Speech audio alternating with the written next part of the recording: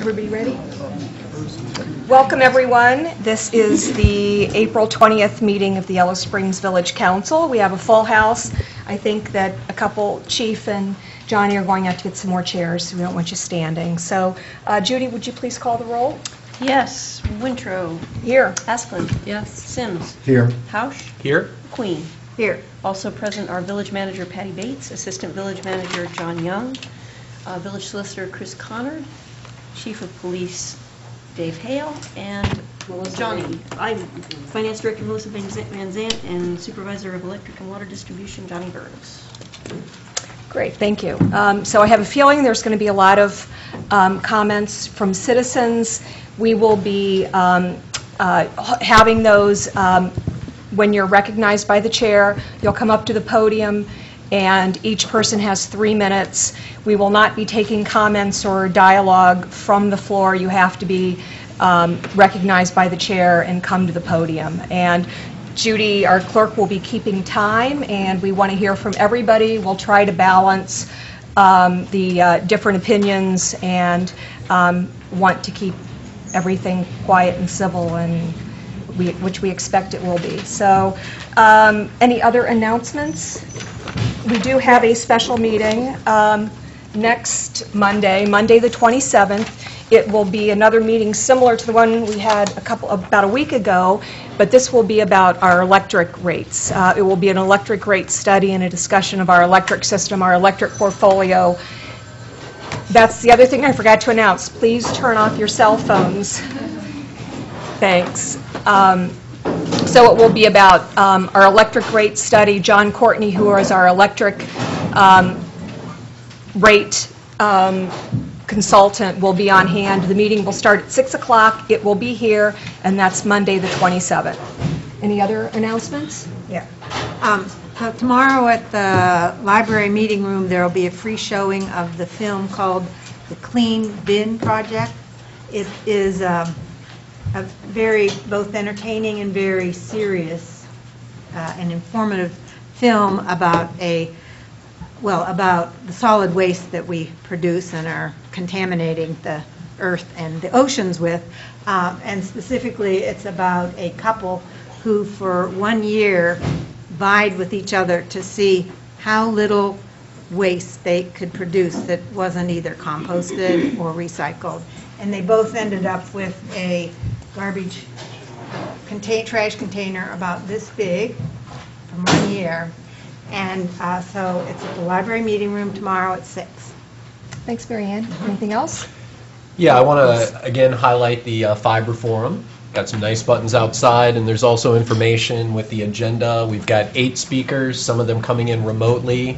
The goal is to basically get information about how a high-speed internet uh, system network could uh, uh, work for the village and what are some of the different options. And uh, we are definitely looking for as much input on if this is a good idea for our community, and this is all being organized by the SpringsNet group.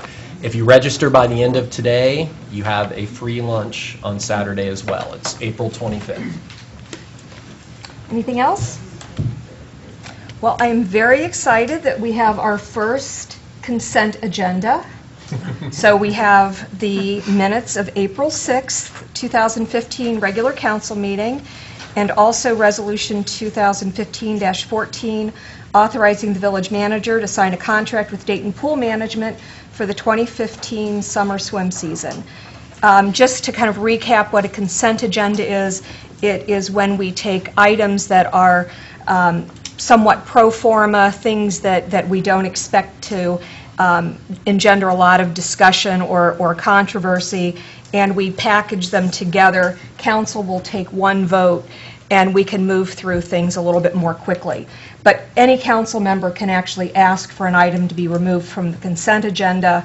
So um, I guess that's the next thing I will ask is, is if any council member would like anything removed from the consent agenda. Well, I was wanting to ask about what exactly the contract was with Dayton Pool Management. I don't know if that requires taking it It's, off. it's a the- s- simple extension of last year's contract. Okay, There so are no the same changes. amount? Yes. Can can you remind me what the amount was? Not top of your head. Is it in the, is it No, in it the- isn't, it isn't in the resolution. Okay. So, Melissa, um, do you? I've got a ballpark, but ballpark in my head, it was like seventy-nine thousand, but. I was thinking I could be 78. Yeah. okay, Okay, okay. Well, that's, that was my only question. okay. Any other? I, somebody want to make a motion? I move that we accept the consent agenda. Second? All those in favor signify by saying aye. Aye. Thank you. Uh, Next, uh, we have a review of the agenda. Um, Are there any um, items that um, we want to add, remove, or relocate on the agenda? I just have a correction. Okay. Um, Under special reports, it's not the, it's the Environmental Commission is giving the climate change report, not Oh, the okay. Climate Action Group. Okay. Um, Lori, um, do you, you want to review the um, petitions and communications, please? Yes. Um, So, uh, the first one was one that was actually supposed to be in our, our uh, packet last week and didn't get in. Um, Joe Lewis wrote about the beaver flow device and flooding potential, expressing concern and wanting it to be removed. And at the last meeting, uh, Jason Hamby said he would follow up, so he went out there with uh, Tom Dietrich and Vicki Hennessy. Um, And they saw two abandoned beaver dams that seemed to be causing the problem. Um, One was on the village property, and that one seemed to be the biggest problem. They removed, they were removing that one, and the other's on private property, and Tom and Vicki, the two volunteers, um, said they would work with the, um, their, Tom is from the Environmental Commission, and uh, Vicki is from uh, GEC. Green Environmental. What is it? Yeah, Green Environmental. Coalition. Coalition, I couldn't remember what the C was, um, said they would try to work with the landowner for removal by volunteers. Any other information about that at all? Uh, There's a, a little write-up in the packet, but that's essentially it, yes, and we think it will, uh, it will fix the problem for now, and then we'll monitor. Right. Um, Then we had several letters um, opposing the utility policy from Judith Hempfling, Sam Young, and Teresa Dunphy, um, which we'll be discussing tonight. Um, Then um, the Courtneys, uh, I forgot to get their first names, it was- just had their last name up here, um, said thanks. Vernon and Cassandra. Vernon and Cassandra Courtney said, uh, thanks to our village staff, um, street department in particular, for um, returning a solid soccer ball and being very kind in their interaction over a soccer ball that got, got, I can't remember exactly what happened, but thanks. Uh, There was a press release about the skate park, um, Phase One uh, of the skate park remodel, the launch party on June 13 from noon to 5. I guess that's during street fair? Okay. Um, And uh, Patty and staff are suggesting reinstalling new steps from the bike path to the skate park. Is that something we need to discuss? It, it came before council before, and council ordered it removed, and that's why I did not want to put it back in without council's uh, consent. so Okay, yes. so we can talk about that in agenda. Um, The fiber optic has already been discussed, um, and there's a open house for Yellow Springs Home Inc.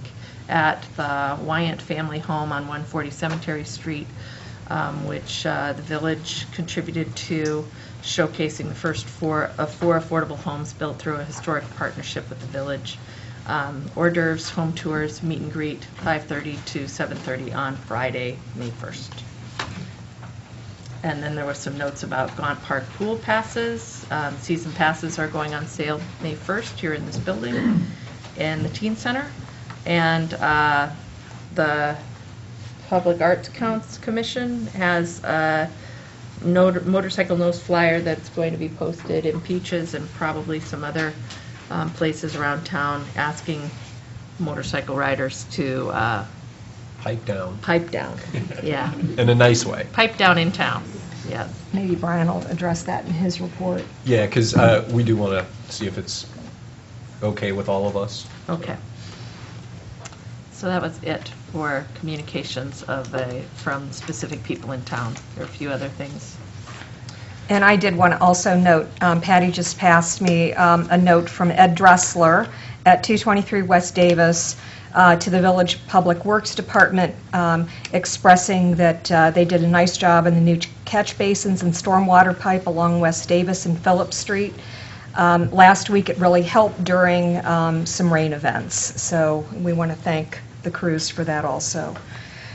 Um, First on, first item on the agenda is uh, first reading of ordinance 2015-05, amending section 1272.04 of the codified ordinances of Yellow Springs to increase permit fees. Um, I don't, can we read this by title only? I ju- Which I just did.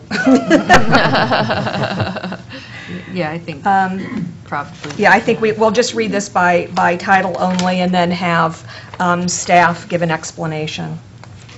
So, Judy? So this is ordinance 2015-05, rescinding old section 1272.04 of the Yellow Springs zoning code and adopting new section 1272.04 of the Yellow Springs zoning code and adopting appendix A to the Yellow Springs zoning code establishing permit fees. Thank you. Can I have a motion, please? So move. Okay. Um, I will turn it over to uh, John Young, our uh, planning staff. Uh, Yes, so um, this is an application to, uh, to basically uh, bring permit fees more in line with the modern uh, era, the 21st century. Uh, The last ordinance for permits was adopted in 1993. A copy of it is in your packets. Um, we took a look at a lot of other uh, villages and cities and other areas in, in Greene County and cr- across southwest Ohio and northern Kentucky, uh, comparing uh, what the rates would be. The other thing is that this is not uh, an attempt to get any more money than what would, it would actually cost to be, uh, to provide at-cost services for some of the uh, applications to the Planning Commission and the Board of Zoning Appeals. Um, So just as a, uh, a review, the zoning ordinance has a, uh, requirements uh, and guidelines for adopting text amendments to the code. They're outlined in your staff reports. Um, The Planning Commission reviewed this in their April 13th meeting and uh, made a motion to recommend approval to uh, council for the permit fees. And just to go over what the changes are, uh, the typical zoning permit will go from $10 to $15. Uh, New construction permits will be $35. Um, Multifamily and- or commercial buildings will be $35 plus $10 for every unit over four or every 1,000 square feet of commercial space over 5,000. Uh, Sign permits go up from 10 to $15. Uh, Same thing for change of use permits. A Planned unit development uh, goes up to, actually stays the same at 150. And the final plan application also stays the same at 75. A level B uh, plan review is a $100 application fee plus a $500 refundable deposit.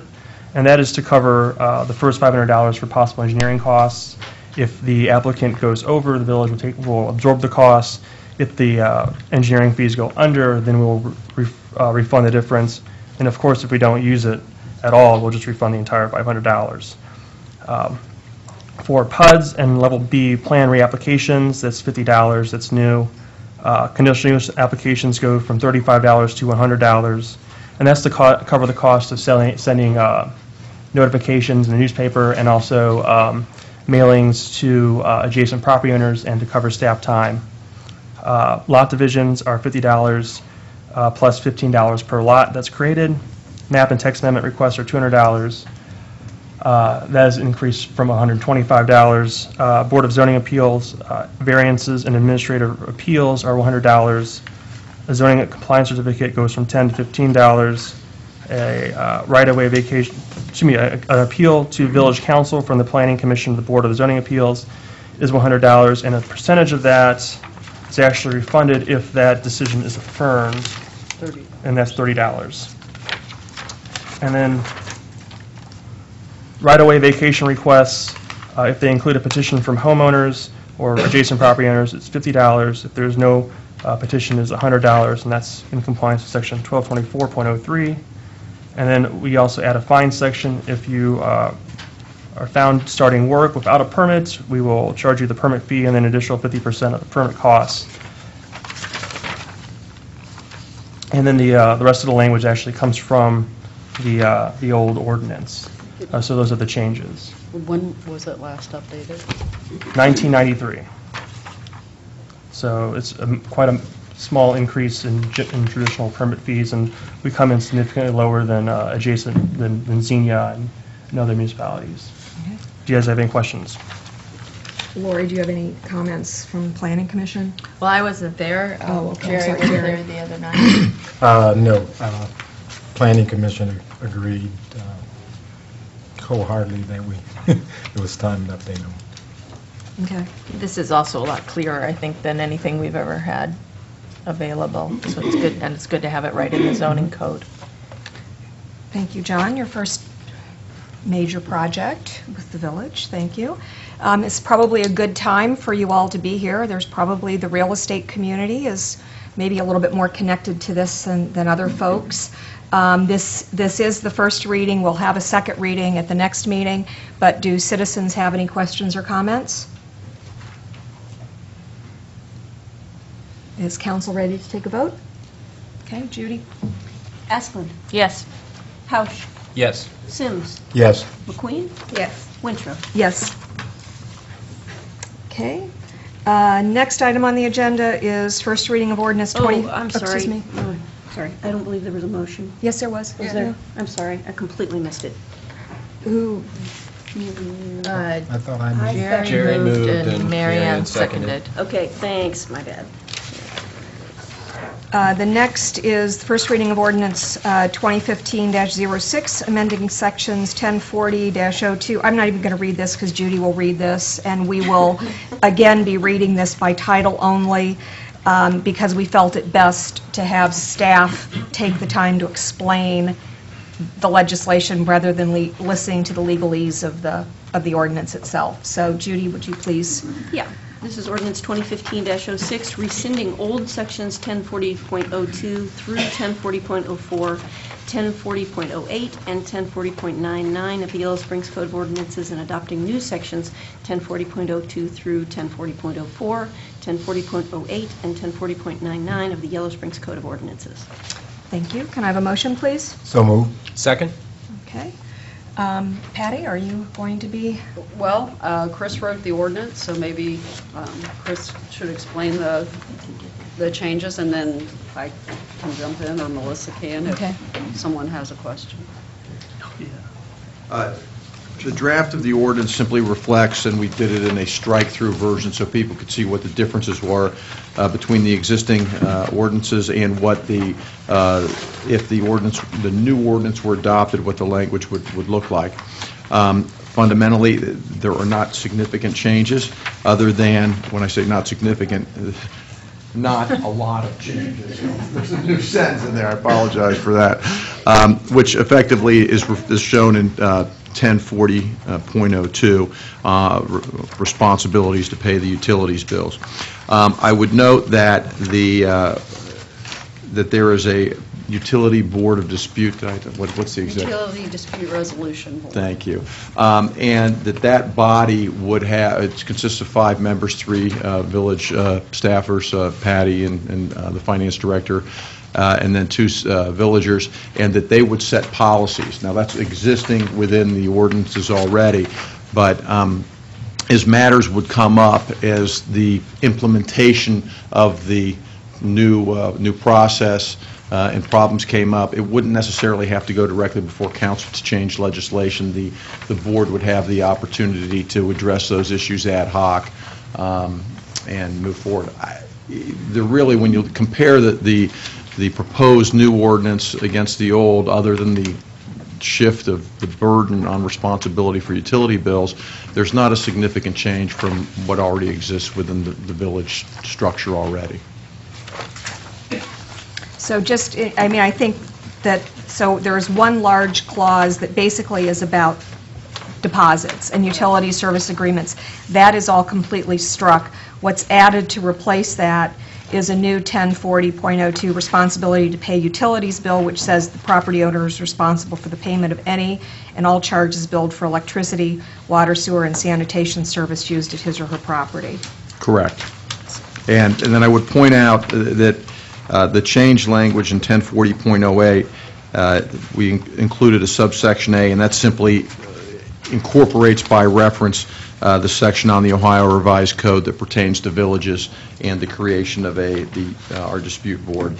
Uh, And then lastly, on the penalty, uh, the, it references a minor misdemeanor. Under current law, um, the maximum financial penalty for, in fact, that's the only penalty, is a, is a fine, is $150. And so, rather than put in a dollar amount, we simply said the maximum amount permitted by law. That way, if there were changes that the state made on what the penalties for minor misdemeanors were, we would not necessarily have to go back and amend the ordinance. Thanks, Chris. I mean, I, I think what the citizens are most interested in is exactly what the process is going to look like. So it probably, Melissa is probably the person to come up mm-hmm. next and describe exactly what that process will look like. Inside the packet is a four-page document um, outlining utility office procedures. Um, It starts with the preface that this would not be going retroactive after this legislation is passed, if it is passed. Um, It would only um, take effect if a lease reaches its current expiration date and is renewed, and we are notified, or the tenant moves out and is replaced by another tenant and comes in and signs up for utilities. Uh, We go through the um, account setup for a new person that would come in. Um, After lots of discussion, we decided that we would allow tenants the, well, it would be up to the property owner whether they wanted it to be in their name or it would be in the tenant's name. If it's in the tenant's name, then they would have some flexibility in terms of working out payment agreements with us. Um, They would also be able to go on to uh, level billing and be able to work directly with the utility office in that regard. If the landlord chose to keep the utilities in their name, then that would pretty much um, leave any kind of utility, you know, dispute or payment agreement, uh, level billing up to the landlord, so they would um, have control over that if they chose that. So that is um, one of the changes that we made after uh, lots of discussion, was allowing the uh, property owner to have the choice of the utility account going in the tenant's name or remaining in the property owner's name. There also in the packet was a new utility account registration form, and it's got uh, customer information, owner information for rental properties, um, if the rental, if it is a rental property where the bill is supposed to be sent to, um, notification of delinquent account status, whether we do that by mail or by email. Um, We are also, we've, I've been meeting with a new utility billing company, and I actually met with them, um, it was, it was last week at some point. We've been having issues with our current utility bill provider. Everybody that was on a College Street, because there are so many different variations of College Street, for some reason, some of the, um, some of the um, residents that lived on East North College Street, their bills were going to East Center College Street, and there might not be a 256 East College where there is a 256 East, East North. It's been a major, major headache, but as a result of that, we've been talking to a, a new utility billing company that's actually going to be a little bit cheaper, and as soon as the bills are uh, turned around same day, they would be emailed to people. So they would actually be emailed to people prior to them hitting the mail. So that would buy us an extra like week. So in in this, um, some some new things are, are coming about. This whole notion of being able to email and having faster notifications is evolving, and I'm hoping to be able to make some headway with that. Um, so the new account setup, uh, there's there's an application that would have to be filled out. Obviously, um, property owners would be involved in that um, as outlined. I outlined the delinquency procedures. It's stated in there exactly what the procedures are. This is mostly taken straight out of ordinance with the exception of um, number two.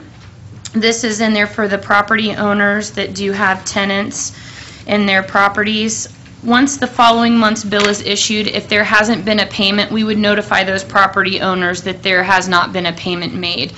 So although it's not classified as delinquent until the 15th, that's giving property owners two extra weeks before the uh, tenants would get a disconnect notice. So that, we, we thought that that would be um, tenant-friendly as well as property owner-friendly, because when the bills are due on the 15th, that would give the tenants an extra two weeks to try to um, make payment arrangements or um, come in to make a payment before we would notify the landlords, and it's also two weeks ahead of time before a bill would be no- uh, notated as delinquent. So we thought that that was a good middle ground, and we would um, notify property owners of their choosing, email, mail, telephone, after the, the first of the month, once those bills are due. Um, And then it goes through what happens once a bill is delinquent after the 15th of the following month. If they have not uh, made a payment, then a delinquency letter or a disconnect letter, uh, it goes out. They have seven days to make payment. Um, One of the things that we've done is we've put on our utility bill message board that there won't be any extensions or anything if a disconnect letter is issued. So we're trying to tighten up some of those internal policies that haven't been in writing before, including that one. Um, Once the services have been disconnected and if the account isn't brought current, they would owe any outstand, outstanding balance, including any penalties. And um, we would have the option of adding those to the property taxes along with a 10% assessment fee, which is what we did for um, properties that were, uh, pro- where the property owner actually resided that we did last year. And uh, we did receive some clarification from the Greene County Auditor. It sounded as if we were only able to pass those assessments on um, once a year in September, but we could actually do that continuously should we need to. So if property is foreclosed on or something like that, we would have the option to uh, try to get those uh, utility bills onto the property taxes. Uh, There's also a section in here about utility disputes, and that's basically um, the process where if somebody has an issue with their bill, that they could file a complaint with our office, and if it can't be handled um, within the utility office, then it would go to the Utility Dispute Resolution Board, which we're looking at resurrecting in all of this discussion. The next section is access to meters. This has been a real issue where some of the meters are inside, people work during the day, um, when the meter readers are coming out, and we aren't able to get access. We've sent some letters that have kind of um, not went over well with the community because no letters have ever been sent before, but it's really important to let everybody know that since right now the water is being read every three months, um, we need to get in there at least once every 90 days, if at all possible, in order to try to detect leaks, um, any issues that are occurring, make sure that we've got accurate billing since things are estimated. So it's just basically outlining that access to meters is really, really important. But um, as we move forward with this whole remote metering issue, um, hopefully water will be read every month after we get all this implemented with the electric remote meters. Um, Sewer adjustments, this has also been um, kind of an issue within the department that we hadn't had anything in writing. Um, We do do a summer sewer adjustment, which was a piece of legislation that council passed for uh, summer uh, yard and garden watering. So that's outlined in there. And then um, kind of past practice was anytime that somebody had a a water leak, um, sewer adjustments were being granted, which isn't a good practice because if somebody has a leaky toilet, the water's going down into the sewer, we have to process it, there's cost associated with that. So we did uh, tighten up that procedure, put that in writing. There's actually a form that you have to fill out. Public Works staff takes a look at things, they evaluate it. If the water did go down the sewer, then we don't grant an adjustment, but if it didn't, then we will grant an adjustment. So that's just putting that in writing. Level billing is also something that was never in writing. It was just one of those things that was just kind of uh, done. And uh, basically, level billing is only for our electric bills because our water and our sewer are estimated every month since they're only read every three months. So every three months, there's a catch-up as long as there's an actual read, which again is the importance of having the access to the meters. Um, So we'll do uh, level billing for electric. The amounts that people were going on to level billing for were never um, really solidified. Uh, It was just whatever a customer was comfortable with. Um, Sometimes that did not work out in the customer's favor at all because they would uh, commit to a very low amount, and then once the catch-up month would occur, they would get hit with a pretty big bill. So this is just saying that we will, we will only look at putting people on level billing if they've got 12 months worth of history. We, our computer automatically generates an estimate for those 12 months. We will only allow people to go by that estimate, nothing less, so that people don't get jammed up um, in terms of level billing. So it would go by that 12-month average that's in the system. Um, and then every September, it's, it's put to zero. Payment agreements, this is another thing that had never really been um, formalized. It was just, um, it, it just kind of happened within the office, and it was very discretionary with the billing staff. This is basically saying that we understand that customers may face undue hardships. Um, only the person whose name is on the utility bill would be able to work out a payment agreement. So if landlords had the bills in their names, then they would be the ones that would have to request such a thing. If the tenant's, if the bill is in the tenant's name, then they would be able to work this out. We are only going to um, look at requests that are submitted in writing. We won't take a verbal on the phone. Um, People have to outline their situation in order to be considered so that we know that they're serious about that. And what we would do is we would uh, take the amount that's past due and we would spread it over no more than six months. And people would only be allowed to do that once per year because we do have some people that have made a habit of being on a payment agreement, and that would uh, put landlord situations in, in a bad light because it, it could it could cause um, quite high utility bill to end up being put with a landlord if somebody did decide to move out. So we would have um, payment agreement, and if when somebody is on a payment agreement, what happens is they will have a past due balance on their bill.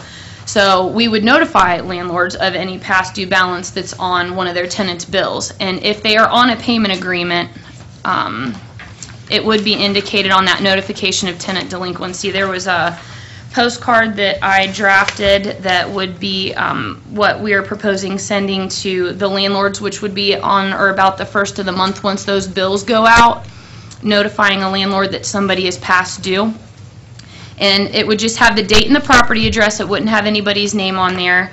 And then it would indicate whether or not the customer was or was not on a payment agreement, so that the landlord knew that that tenant was taking steps um, in order to bring that balance current with the office, and it wasn't just a non-payment situation. So that would indicate to the landlord what was going on there. Um, So payment agreements, we tried to put that in writing, what was going on with that. If somebody defaults on their payment agreement, then we will send a notice of disconnection, and they will be disconnected within 48 hours. So um, we won't accept checks to try to prevent anybody from writing a bad check and buying some more time. We would only accept cash, um, money order, or credit card now that we accept credit cards. And then finally, we've got the discon- discontinuation of utility services and what would happen when somebody wants to go to move out the process that um, is involved with that, that we require 24 hours notice so that we can get somebody out to do a final read so that we've got a very, uh, a very firm stop date for that person. So this is probably a whole lot more than what council was expecting to receive, but there were a lot of procedures that were going on in that office um, that have just been the way that they've always done it, and it has not put um, the landlord tenant situation in a very good light with the with the passage of this um, new legislation. So we were hoping to make some of these policies um, landlord friendly and um, just putting it in writing, you know, exactly what our office has the capability of doing each step of the way. So I hope that I didn't miss anything, and that's a lot of information that I just threw at everybody. It's great, Melissa. I mean, it's, it's amazing that the things that were happening without a, without an appropriate um, or firm policy, and I really appreciate what the department and what the staff has done to pull this together. Um, Patty, is there anything else that you want to talk about? Then I think council will ask questions There- of all of you. Yeah, there are, there are two things I'd like to do. First of all, I'd like to thank Dino uh, and Teresa, um, Dino Pilata and Teresa Dunphy, because they did email me with some maybe suggestions or ideas of what to go into the policy. Some of them we were able to implement, some of them we weren't, but I did appreciate that um, give and take.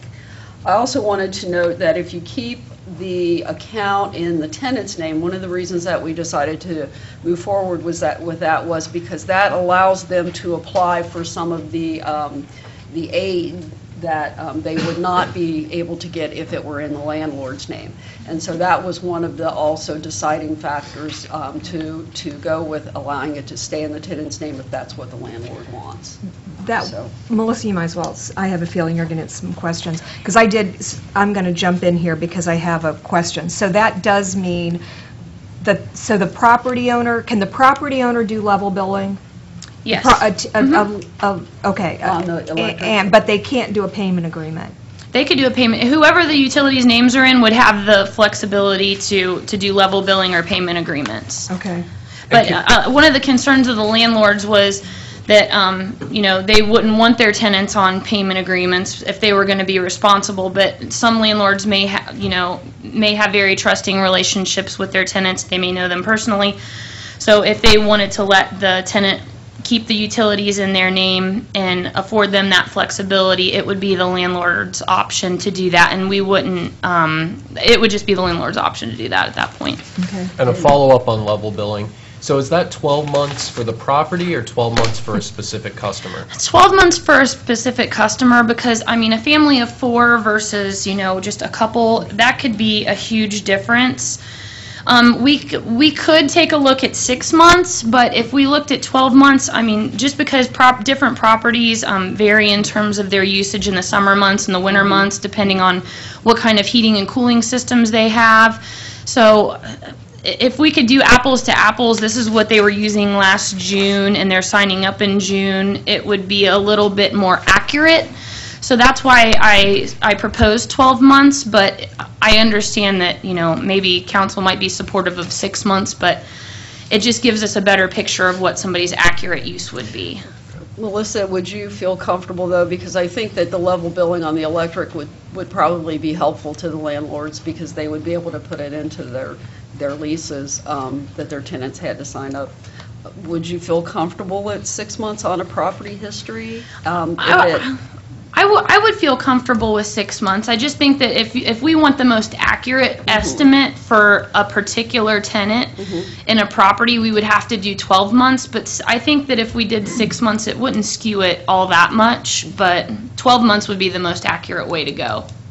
Then again, though, I mean, it's not the most convenient because it's been a year at that point, so. And, and then we catch up in September mm-hmm. on electric, right? Yep.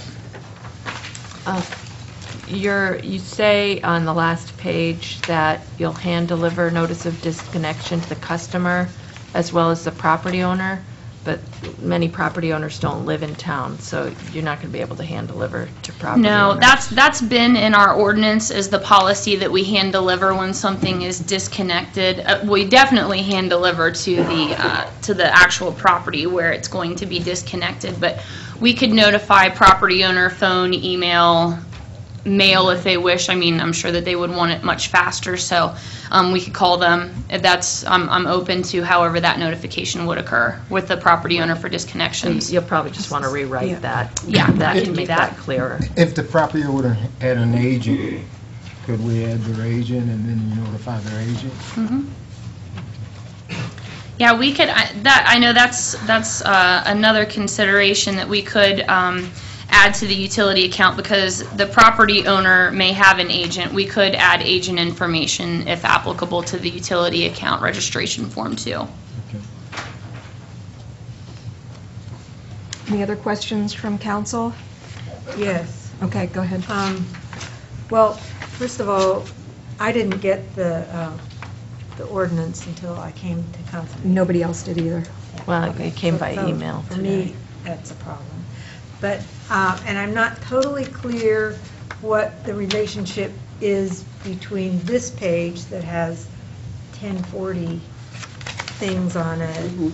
I'm not totally clear what it, that relationship is to the ordinance. The the ordinance itself, which is this page, um, all it's doing is setting out the sections of the page that you have in your hand. That's a copy of the codified ordinance. This is the ordinance.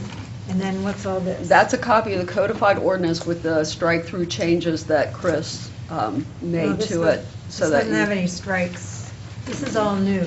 This, this thing that starts Okay. utility That was what was dispute in the packet to resolution. start with. That was what was in the packet to start with, Yes, yes. right, right. Yeah, So it's- what's the relationship between this page and the ordinance? I'm not clear. I think that was just the placeholder until we got the final copy from Chris, which is Right. the ordinance version that Right. everybody's been referring to. So i- are- is this part of the ordinance? That, that's, that's a straight from the codified ordinance online, and I think that that was just the placeholder until the actual ordinance was reviewed by Chris. It's the, it's as it stands today.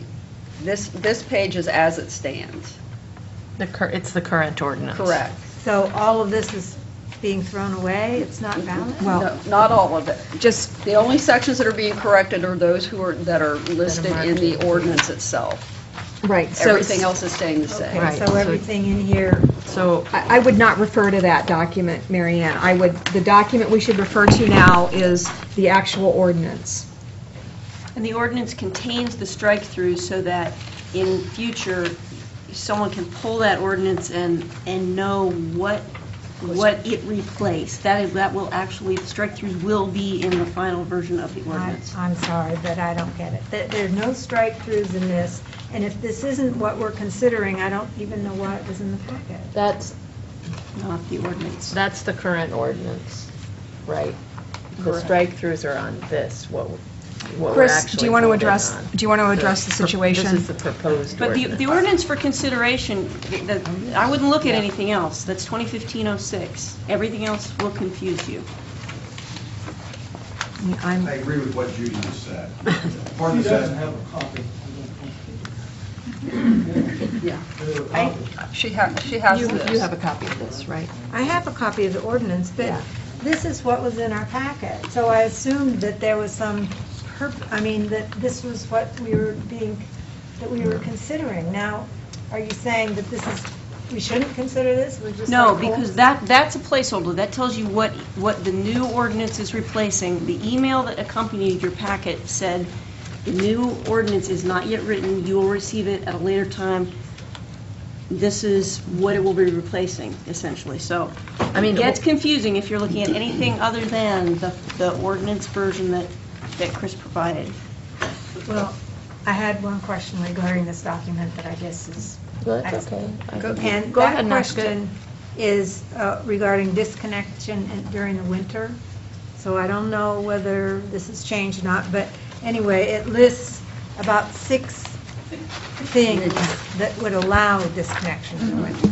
Uh, Is that still, Yeah, nothing, nothing with that has changed. But I I would like to just kind of address a common misconception that's existed since, I mean, I've started, and I know well before that, was, there's a common misconception that we didn't disconnect anybody in the winter. And that's not the case. We can disconnect people in the winter if any of those There are a whole bunch of- instances, yes, there's, one of them's a safety issue. Um, If Johnny's staff needs to repair a line, they may have to disconnect power in order to um, work on that line safely. That's one of the, that's one of or the if- if- notes. If their account becomes delinquent and they haven't executed a payment plan. So And I think that that's the common misconception, is that if somebody went delinquent in the winter, we couldn't disconnect them. And Okay, so. None then of that's changed. the changed. other question that I have is if, if someone's um, utilities are disconnected, and this is, I guess, a, I don't know if this is a legal question or not, but can people continue to live in a uh, dwelling when the utilities are disconnected? I would say that that No. depends on how quickly the health department gets Right. there. When the health department. So comes. technically, no, you're not supposed to live in a dwelling that does not have utilities to it. The it. village, so does that mean the village isn't necessarily going to do anything about it, but John, do you want to address that? Probably not. Well, I, I will tell you, in my experience, we actually, uh, in my old employer, we had a, uh situation where the trailer park uh, in Bellevue uh, was disconnected from uh, electric, and uh, they had to make arrangements to house them in a hotel until the, until that was uh, fixed. So uh, there are instances where, I mean, you cannot live in a building, it's not considered a habitable structure if you don't have utilities hooked up to it. It would have to be condemned. If, if I was a building inspector, I would have to condemn the building and, and say it's unsafe for uh, human ho- occupation until, until that is remedied. That would be then at the county level, not the village level? No, that's a building. It would be the health department and, At the county level. and the building department, The county does ours. yeah.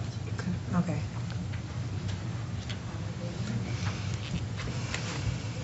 Other questions? Any other questions from council before we open it up to On citizen the, uh, comment? Yeah, I have one. On the uh, utilities dispute, um, and and maybe I did or I did not read it, but uh, they could still get a disconnect notice if they were going through the dispute. Yes, that process. doesn't necessarily, the way that, the way that it's written in um, the policy, and I think it might have been outlined in, um, in the ordinance, I'm not 100% sure on that, but the way that it's written is you, if, once you, once you file a complaint, you have to do it before the due date. So we don't, the intention is that we don't want somebody to, we don't want people filing disputes just to buy themselves time. Um, So that outlines that very situation. Um, So you've got two weeks from the time that you receive your bill. We're saying that you need to do it before the bill is due, and it's not going to buy you any time, basically. So we will handle it in a timely manner, because that's the intention. Um, These aren't exactly com, uh, questions, but uh, uh, two quick comments. Under the uh, uh, Utility Dispute Resolution Board, A references the Board of Trustees of Public Affairs, and then it goes on to talk about the UDRB, and I think we need to clarify that. Yeah, I, I just saw that in Okay. the, in the copy as well, and, and I think because Chris had it listed both ways, because we were kind of going back and forth as to what we thought it should be called, and we settled on the, keeping the language from the original, which was utility dispute resolution. Okay, cool. And then a second thing, um, not so much about the ordinance, but as we tweak the procedures, uh, it would be useful to clarify the role of the finance director versus the role of the resolution board, especially in terms of, you know, who can do both approve payment plans and that sort of thing. And um, again, just since we're doing that work, to clarify where everybody comes into play.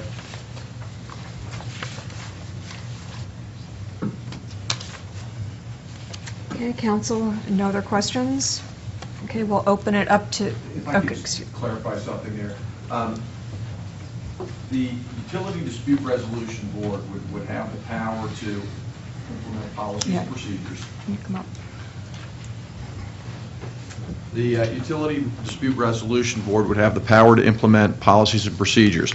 Now, the board is made up of the uh, village manager, the finance director, and the uh, electric superintendent, or their respective uh, designates, and then the two village members. So the body can empower the finance director to deal with the situations that I think you're, Right. you're talking about. Right. So I just wanted to make that clear. Yeah, thanks.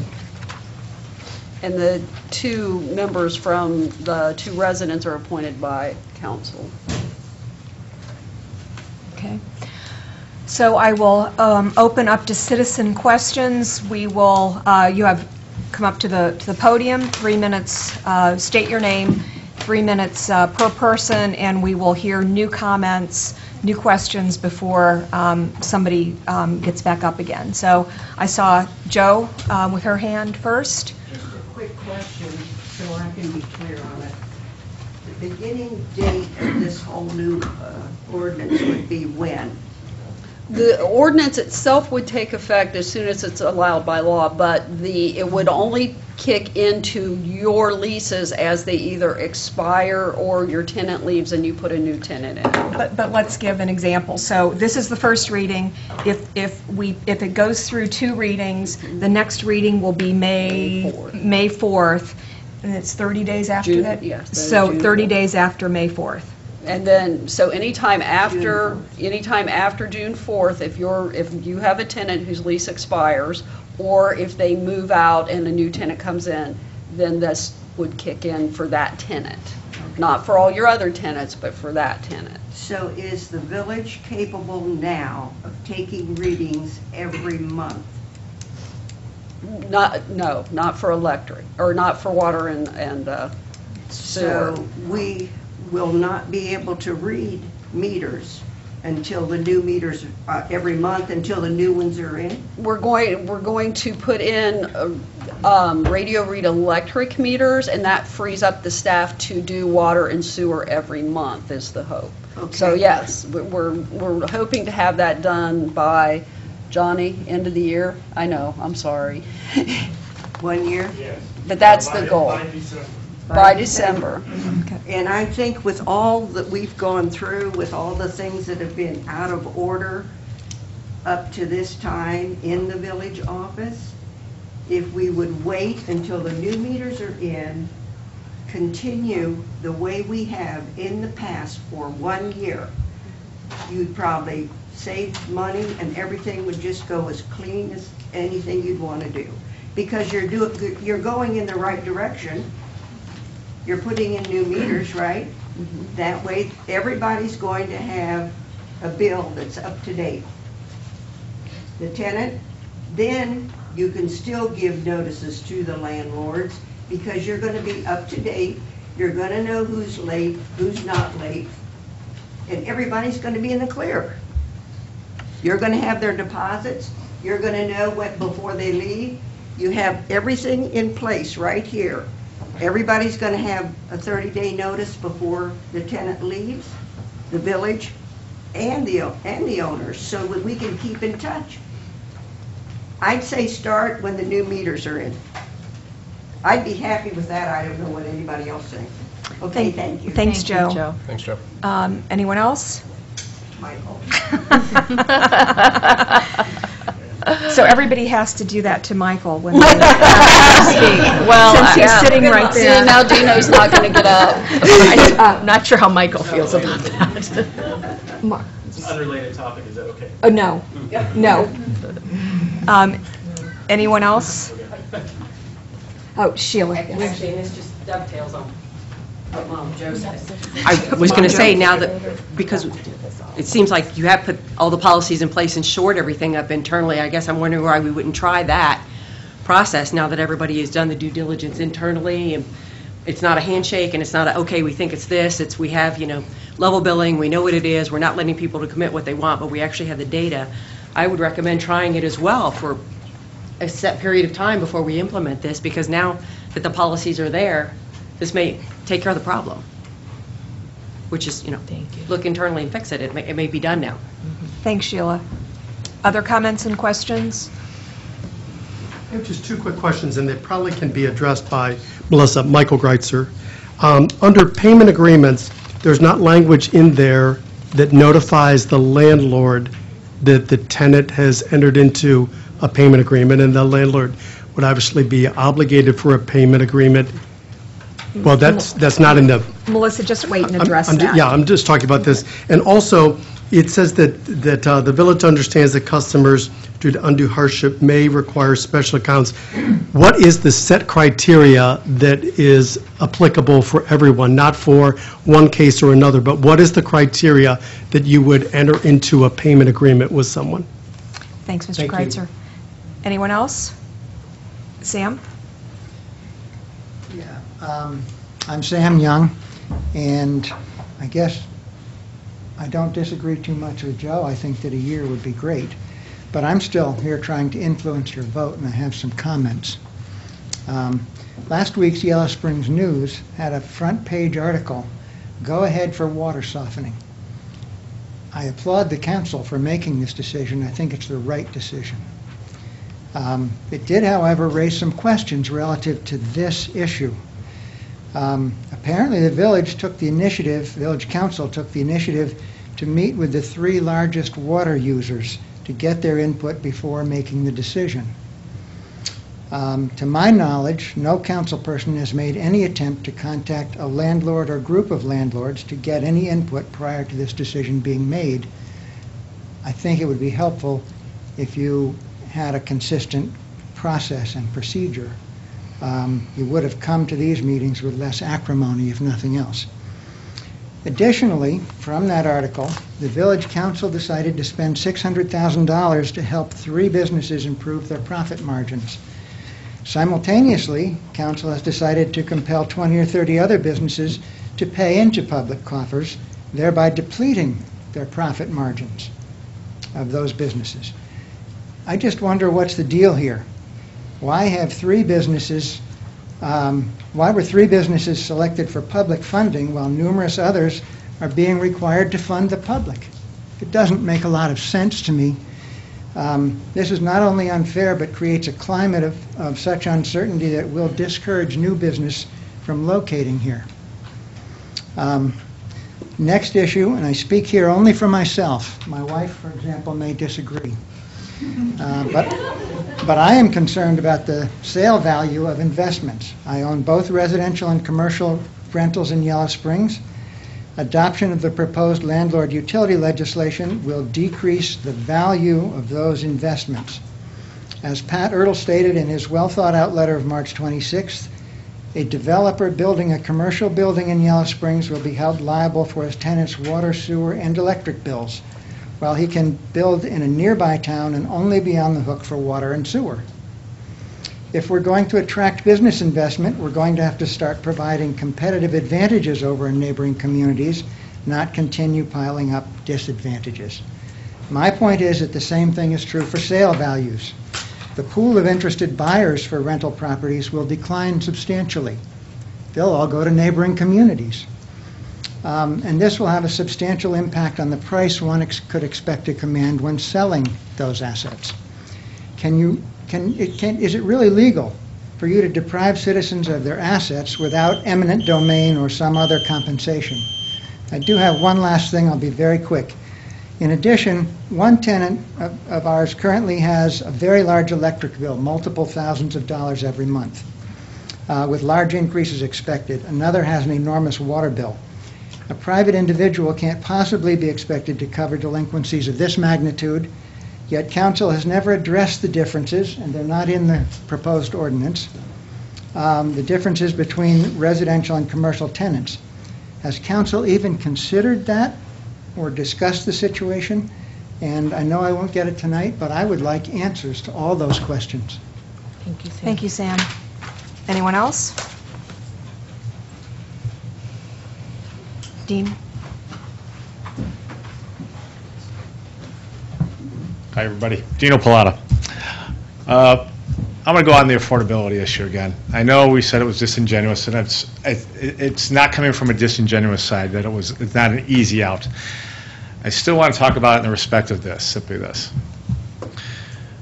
When we talk about affordability, and you're talking about what's going to come down the line here, you're looking at the end users. As running my own business, what we've all done in my business, we all have vendors coming at us, price increases, raising, raising. We fight with them, we negotiate, we do battle, we do whatever we got to do before we have to pay it, before we have to pass it through. But at some point in time, the increases keep coming, and we have to pass it through to the end user. That's what I'm suggesting. I've been asking and just talking through this to say, this still has potential. This policy still has that potential of being a pass-through to the end user, which is the tenant. What's going, the way that I'm seeing it, the way that I'm looking at it in, in, in my side of the business, is simply looking at this. You're passing through right now, if this policy should come through, you're going to pass through over to the landlords, you're going to pass over the, the losses, you're going to pass over work, utility, that, that's being done in the utility department, you're going to pass over work to be done by the landlords now, which is an expense, and you're going to pass over future losses to them that they have to take on. That's part of this policy. Well, in doing so, in doing that, we all have to realize that one thing, that the landlords can take on some of these expenses, but they cannot continually take on all these expenses, and something is going to get passed through. Just as any good business does, we're going to have to pass it through. And it's going to be, when that pass-through comes through, it's going to be a cross-cut. If we're going to do the securities, the rents, we've all talked about this before. But at some point in time, these pass-throughs are going to go through. And when that happens, that's something that we all have to take account for, is there's going to be a small part that something's going to happen. What's going to happen to the tenants? Well, what I see happening to the tenants, and it's not all the tenants, it's a small group of the tenants, they're going to, they're going to get, they're going to get squeezed. You're going to put an undue burden on them, and that's what we're looking at. That's what I think, Brian, you always talked about that. That's what I'm looking at, that small group. So if you're going to, if we're going to affect that small group, you're going to affect the mix. We're going to, they're, unfortunately, they may get squeezed out, and then you're going to look at a different mix for, the- for the village. Now, that's the question that you guys each need to answer. That's something that I can't answer, that's where you're in your position, is, that's what we need to look at. Can you yourself answer this question? Is this going to benefit, or is this going to be a detriment to the village as a whole? And are we going to be thriving with this? Is this going to be hurt economically developing-wise? It's been up to question, but those are the things that we need to look at to see in the full picture. Are you going to hurt the little people? Are you going to hurt business? Is it going to deter- deter this, or is it going to be a benefit? Thanks for your time. Thanks, Dean. Anyone else? Uh, Yes, John?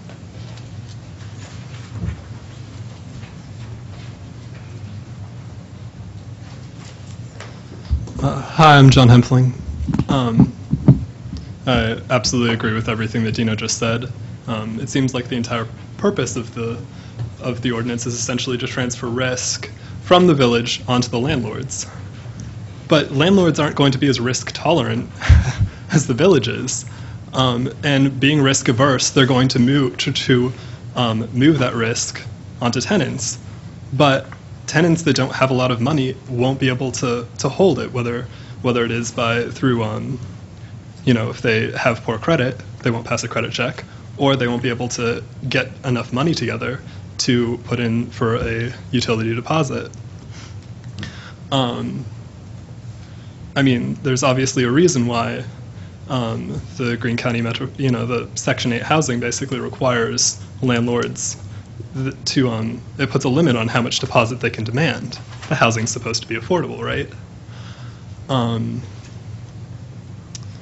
so, yeah, basically, I oppose this. Um, I'm also a member of uh, Black Lives Matter Miami Valley, formerly um, Greene County Black Lives Matter. Um, and in accordance with our interest in affordable housing, um, yesterday we discussed this topic and we have officially come out in opposition to it. Uh, thank you for your time. Thank you.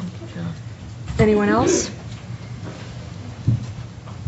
Okay, let's uh, come back and try to answer some of the questions. I know that, uh, I think, um, Mr. Kreitzer, um, Melissa, do you have those answers? Okay, I I wrote this stuff down, and I don't remember which ones happened first, but, um, let's see. There was a question about, um, I think that this was the second one, criteria for payment agreements. Um, Basically, we could, we could, um, we could outline those, and it probably would be a good idea. I would like to kind of collaborate on that, though. Um, what I was thinking is if there was a serious illness or if there was a death, um, things like that, not just, I mean, we've heard every excuse in the world, not just my mom took my money to Vegas. Um, so, and, and part of the, that's been used. Um, part of the, part of the reason by putting, asking, um, the, the customer to put their request in writing is because I think that that just in itself is going to cut down on this. Um, but I would be very open into, um, helping, um, or collaborating with, um, people to try to establish that criteria list. But just off the top of my head, I was thinking illnesses, death, um, things like that. Notification of landlords on payment agreement.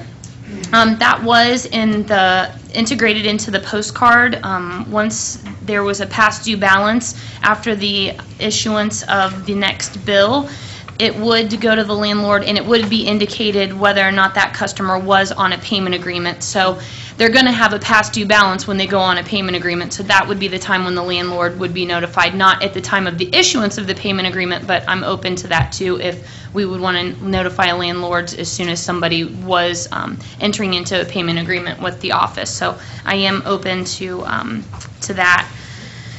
Um, I'm trying to look through my notes here. I think I was missing something. Now I'm not sure what I was missing. So if somebody had a question that wasn't, Um, Mr. Young had the question about uh, residential versus commercial. we did not differentiate. Correct. And the, do you want to explain the reasons, or do you want me to?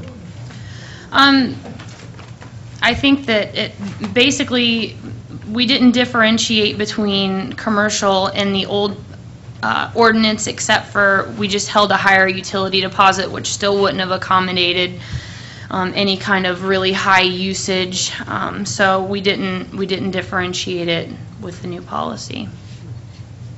And we've also, there have been commercial properties that were owner-occupied commercial properties, as a matter of fact, um, that had some relatively high bills, and they went out of business and left and didn't pay them. And so, Um, While we're answering questions, I could also address a couple of Sam's questions um, related to the meeting with um, large users. Um, I was involved in that meeting, but um, it was not a village council meeting. I believe I was the only village council member there. There were many more than three businesses, and it was an open invitation from our staff, Kent Bristol. It was when he was the interim manager. He, um, he is, he's sent out the invitation for the meeting. Um, So, you know, and, and, and we did take input. We had small users, we had large users, we had a number of users. And as far as I remember, it was, it was a pretty open invitation. I could go back, I could, you know, look at, at, at some of the, I don't know if there were even any meeting records. I could ask um, uh, Kent about it. I don't believe Johnny, Johnny, were you here at that point? Could you, There is records of what was discussed at the meeting. and the attendees, were the, The att- attendees, uh, I'm, I'm thinking there was like 20 people at that meeting, because we held it in A and B. okay. And Jerry, were, who, I think Mary. Mary Ann, okay, that's right, yeah. Um, So, um, and then, Sam, you asked if this, if the policy is legal. It is legal. Ohio Revised Code allows us, We're Trying to raise a different aspect. okay. Um, So that's, those are the questions that, that Sam asked that I could address. Actually, I have others. Um, I- Sam, I mean, I just asked for, for comments, and you, nobody had I thought you were trying to them. answer the questions that were others. Um, I didn't. do- Were there any other questions? That that I Um,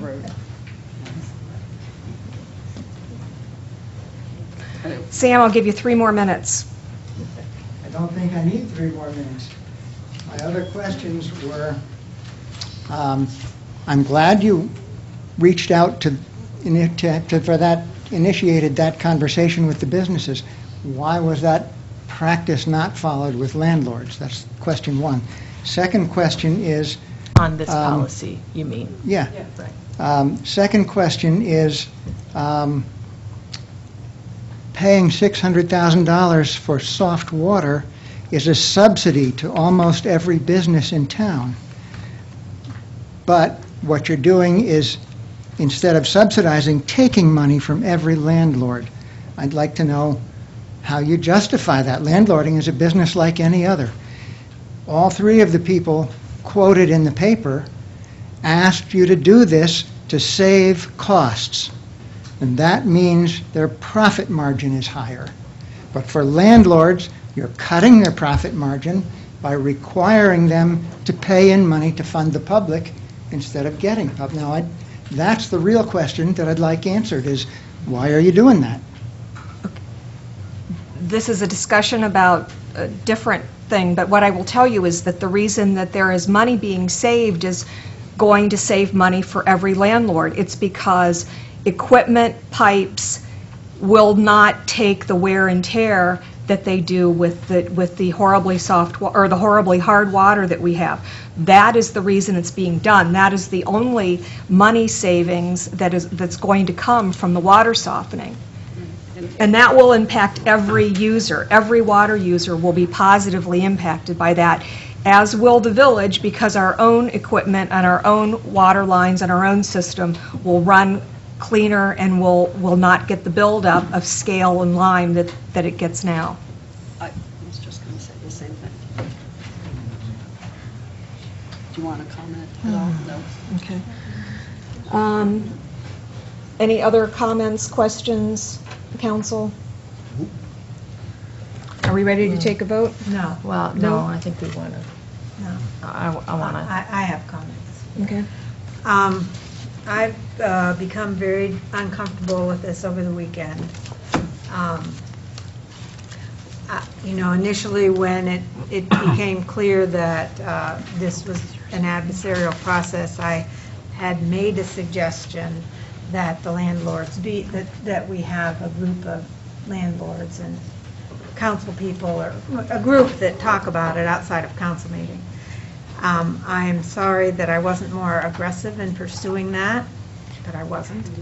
Um, So, um, in a lot of ways, I'm more concerned about the process and the impacts of the process than where we are right now. I, um, so I, I, I think that the process that we've been using, which is basically, council certainly listened to landlords, we've definitely listened, but there hasn't really been an opportunity to engage in any kind of um, really deliberative discussion in any kind of meaningful way. And so that has tended to create the adversarial nature of this discussion. Um, And to the degree that it's become adversarial, the amount of actual uh, deliberation has, has gone down. And every, I mean, everyone is, everyone, I think everyone is being motivated from a care about the community, and I know staff has worked really hard on this. Um, But, and at the other side of it, this weekend, I was approached by two landlords, and one was just serendipitous because it was my neighbor. So I have, until this weekend, no landlord or tenant, no one has come to me to ta- talk to me. Uh, And it actually does make a diff, it made a difference when people came and talked to me. So I would encourage people, I mean, it's getting late on this issue, but, you know, if there's an issue you're concerned about, call council people. You know, it- it really makes a difference to be able to talk one-on-one rather than sitting up like this. Um, What else? Um, I I read this, what was in the packet about the utilities, and this is a lot of information. I mean, there are a lot of changes that are being made internally. And then I wondered where the ordinance was, and I came, and it was sitting on our desk. And I'm not comfortable voting on this, res- on this ordinance when I didn't, I- even though some pieces of it were in here, but with all of this animosity that's been created and all this time to come in and find the ordinance and then be expected to vote on it, I'm not comfortable. So I guess I would, I don't know, I mean, I- I would have even sent out a message earlier, but I didn't, I've been so conflicted, I wasn't sure what I was thinking. I guess I still am not, but I'm not comfortable, I know I'm not comfortable voting on it tonight. Thank you for being so honest.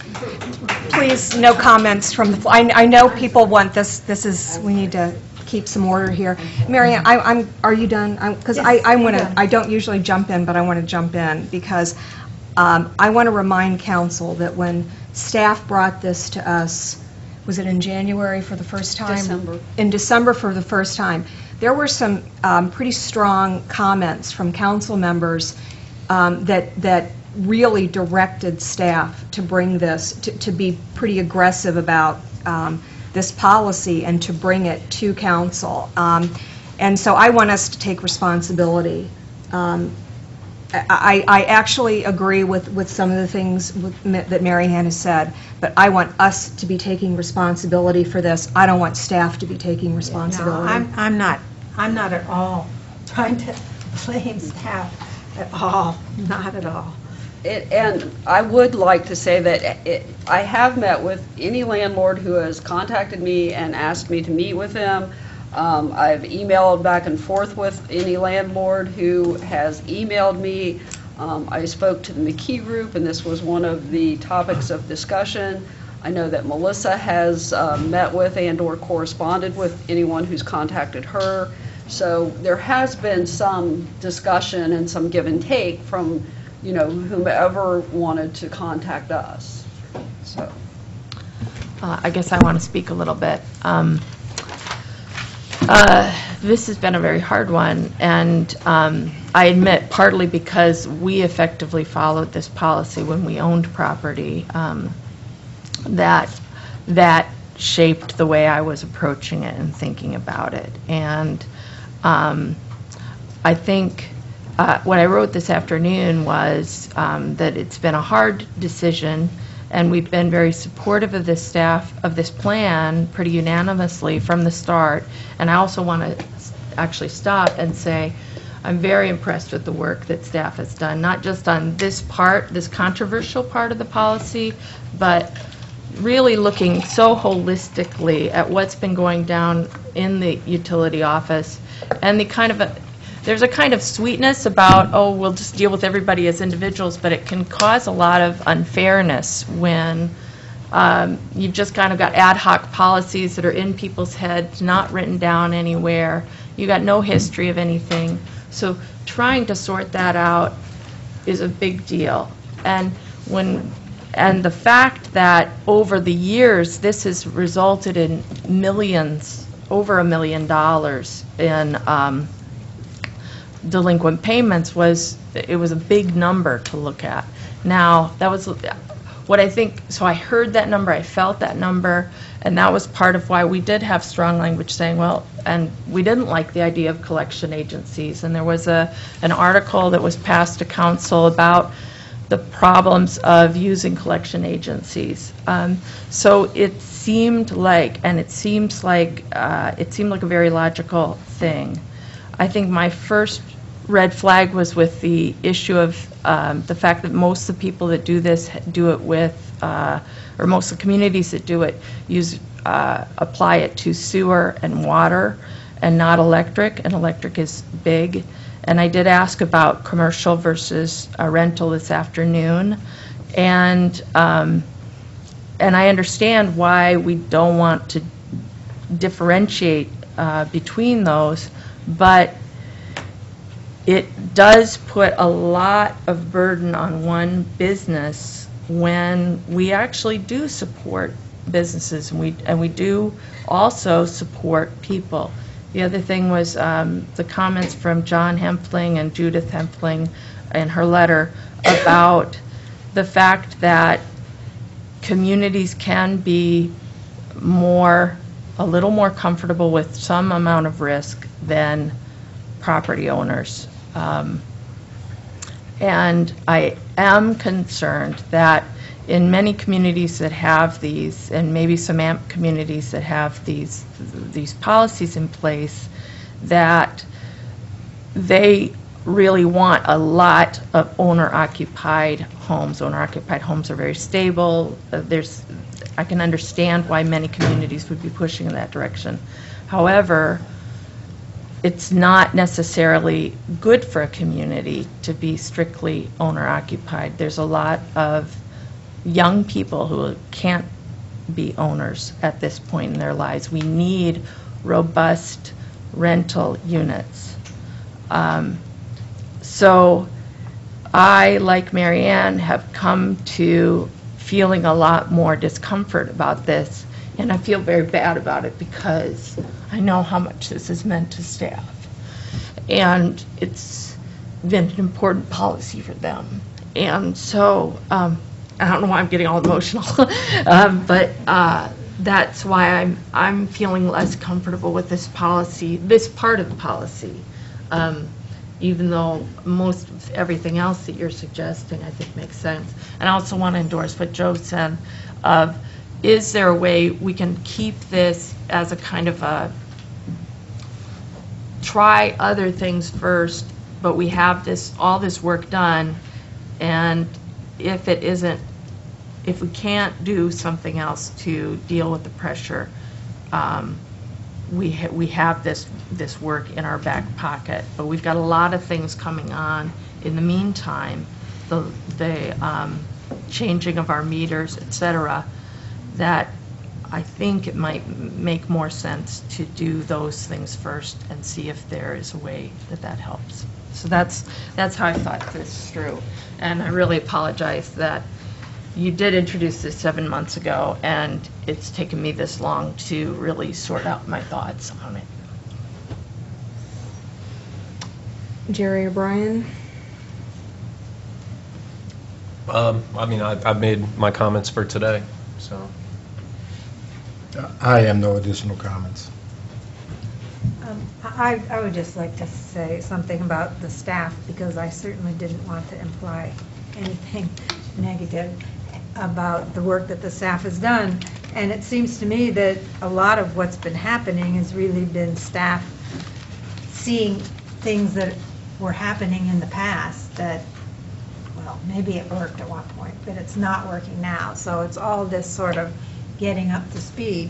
And, and I think it's difficult in this kind of adversarial situation when citizens then sort of say things like, well, you know, if you don't know what you're doing, get out of the business, which is sort of, so um, I, I do, I really do appreciate all the work that staff has done, and that it becomes very difficult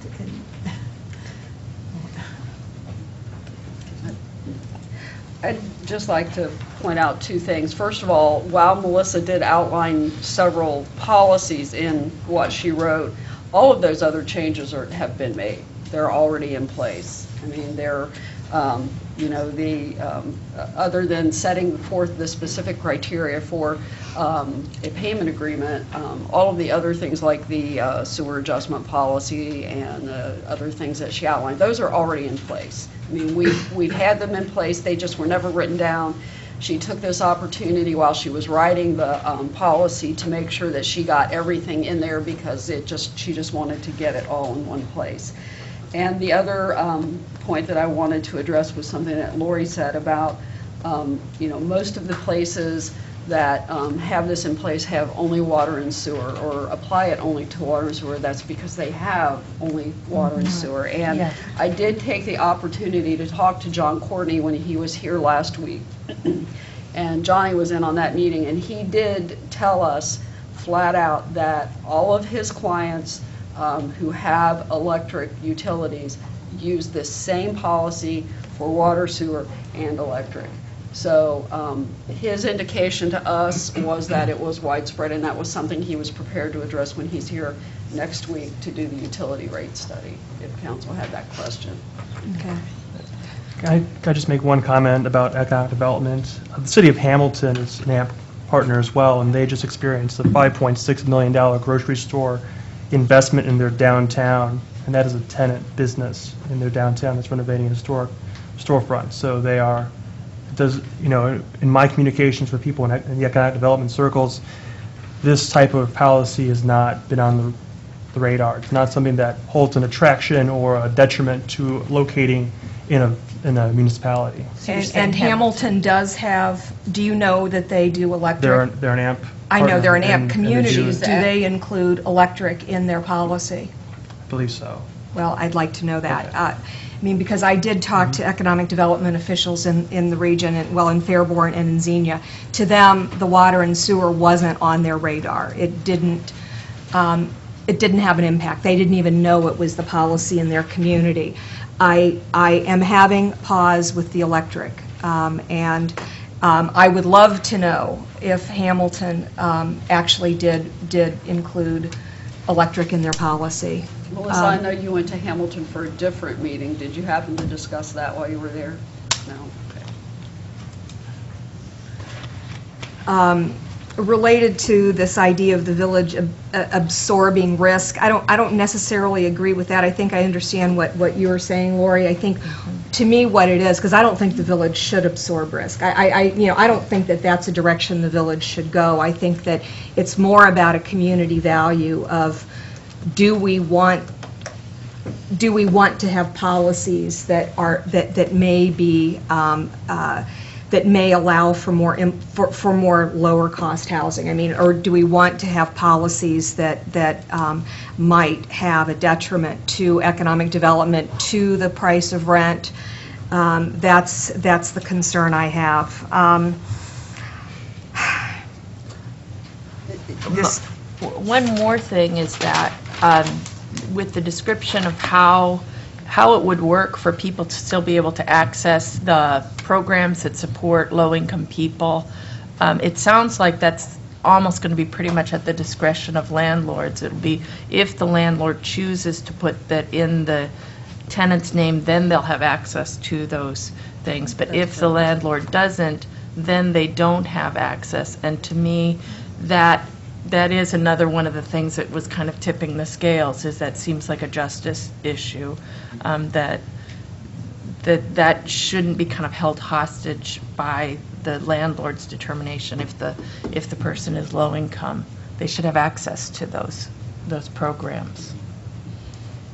And and again, all this policy is doing as far as, um, the burden, the burden for the ultimate payment will be on the landlord, yes, but the, the shifting, it will also shift the deposit from us collecting it to the landlord collecting it. And, you know, we can provide all of the landlords with, you know, the average over a year for their properties, for the different uses, and then they can decide what kind of deposit they want to collect. And, you know, it's, it's shift, it's not necessarily increasing the burden, it's shifting it from us collecting it to the landlord collecting it, so. And, um, And what? no, I, I guess I was just gonna, I was wondering whether we might want to just table this. I would like to take a vote. I think it's, how does the rest of council feel? Yeah, I think we should take a vote to, you know, tabling it, to me, is, is not the issue. Right. We either vote it up or we vote it down, and, and we move on. Uh, You know, the, that, that's all I have to say.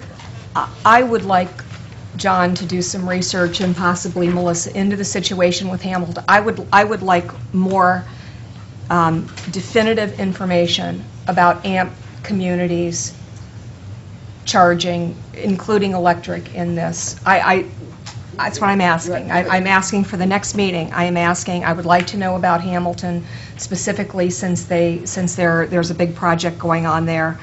Um, And I would like a little bit, I would like some discussion with commercial tenants. I mean, I think these large users, I think when we've got, a- we've got a business that uses tens of thousands of gallons of water, and we've got another business that uses a lot of kilowatts of electricity. I really would like to understand the impact and how exactly that is going to be um, factored, can be factored into a lease, can be factored into um, the equation for, for landlords.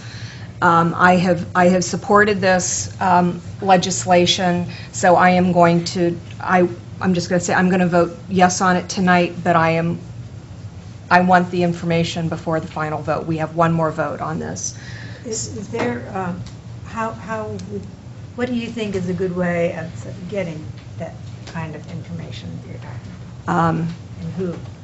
Well, um, is it, I don't, I don't know how we can provide the language as to how it can be factored into a lease, because that's truly up to the landlord and and how they write their lease, and I, they are way more versed in it than I am. We can certainly check into, you know, Hamilton and, and other AMP communities, although we talked to AMP before, and they provided us with the only survey they, they had. I, So- I have been talking to, to people, I've been talking to officials, I will do that again. I will make phone calls, I assume that John may make phone calls, other people may make phone calls. I, I will do my own research and, and get more of the answers that I want to hear.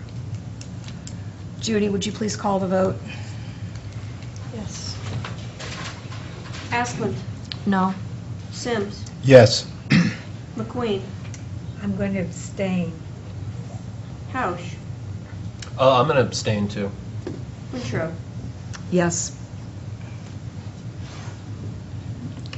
So So you what does have- that vote mean? Not much on a first reading. It doesn't mean a lot on a first reading. Well, but wait, It's, what is That a it's a majority of, it's a majority of yes. It was a, two yes votes Two and yeses one. and a no. But it's two out of five.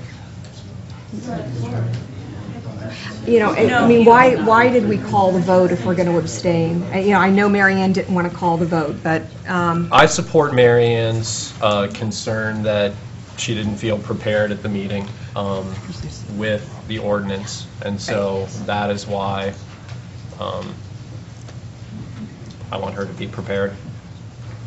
Chris, help. I'm looking at the charter right now. Thank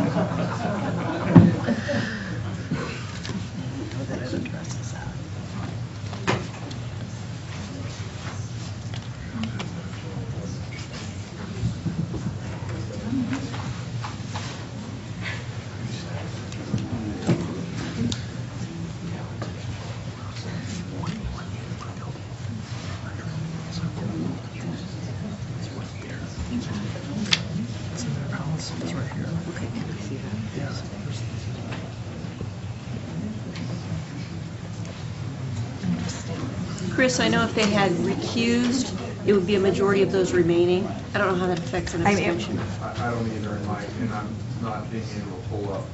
Do you have your hard copy? I mean, I- does the charter even talk about I don't, abstentions? I don't believe it does, but. I mean, they're not votes. I would consider them not votes.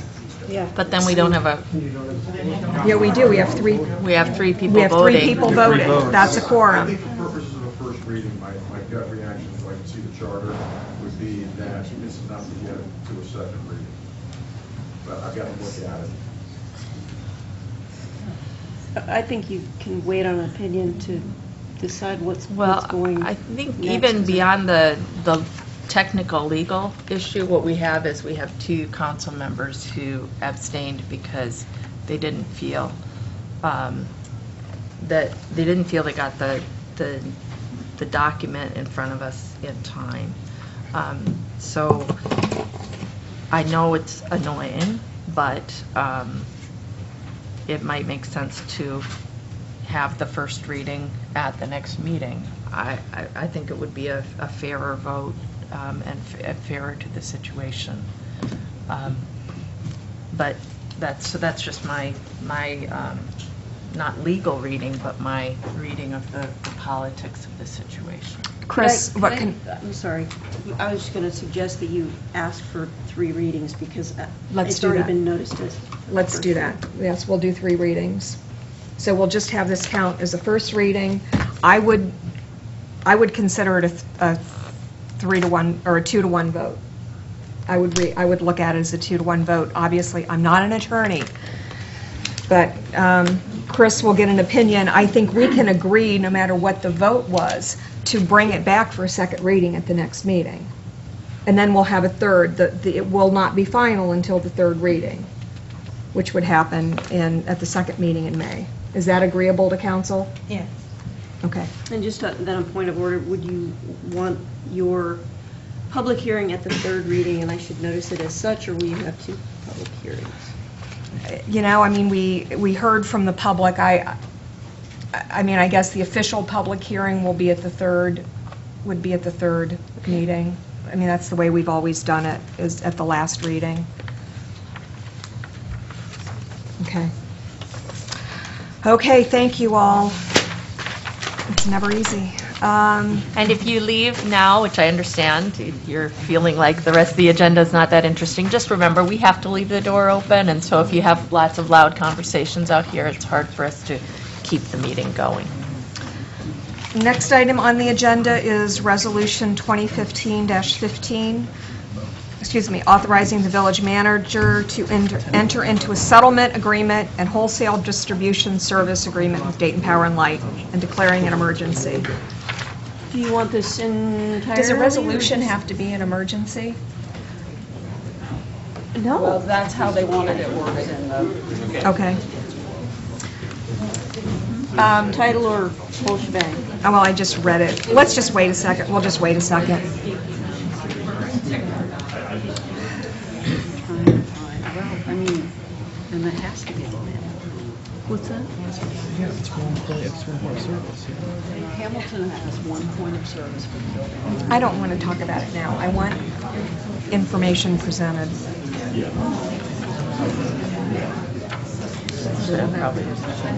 Guys, come on, we need to continue with the meeting. Please sit and, okay, thank you. Resolution 2015-15. Judy, just read it by title only. Okay, this is authorizing the village manager to enter into a settlement agreement and wholesale distribution service agreement with Dayton Power and Light Company and declaring an emergency. Thank you. Um, Patty, would you explain this legislation? Uh, Yes, this is the final agreement for, um, as everyone knows, DP&L was talking about really raising our rates substantially for the power that we buy from them, and this is the final settlement that AMP has been working on. Originally, they, um, they filed that they wanted to go to uh, $4.20, I believe, uh, per kilowatt month, and um, it actually is down to $1, and I'm looking for it, I think it's a dollar thirty-two. 32, yeah. Yeah, dollar thirty-two per kilowatt month. Um, It also changes the, um, the way they uh, measure our peak. Currently, it's done, uh, I believe, quarterly, and it'll be done now on an annual basis. And what that will enable us to do is to kind of put it out there for everyone um, that during this week, they're going to be measuring our peak usage, which will base our usage for the next year. And so we're going to put it out there so everybody can cut cut your power. Um, you know, as much as possible during that week. Um, It's usually in the hot months, It's right? usually, it it actually, it it can be later. It was in, I think, September for a couple of the communities. Yeah.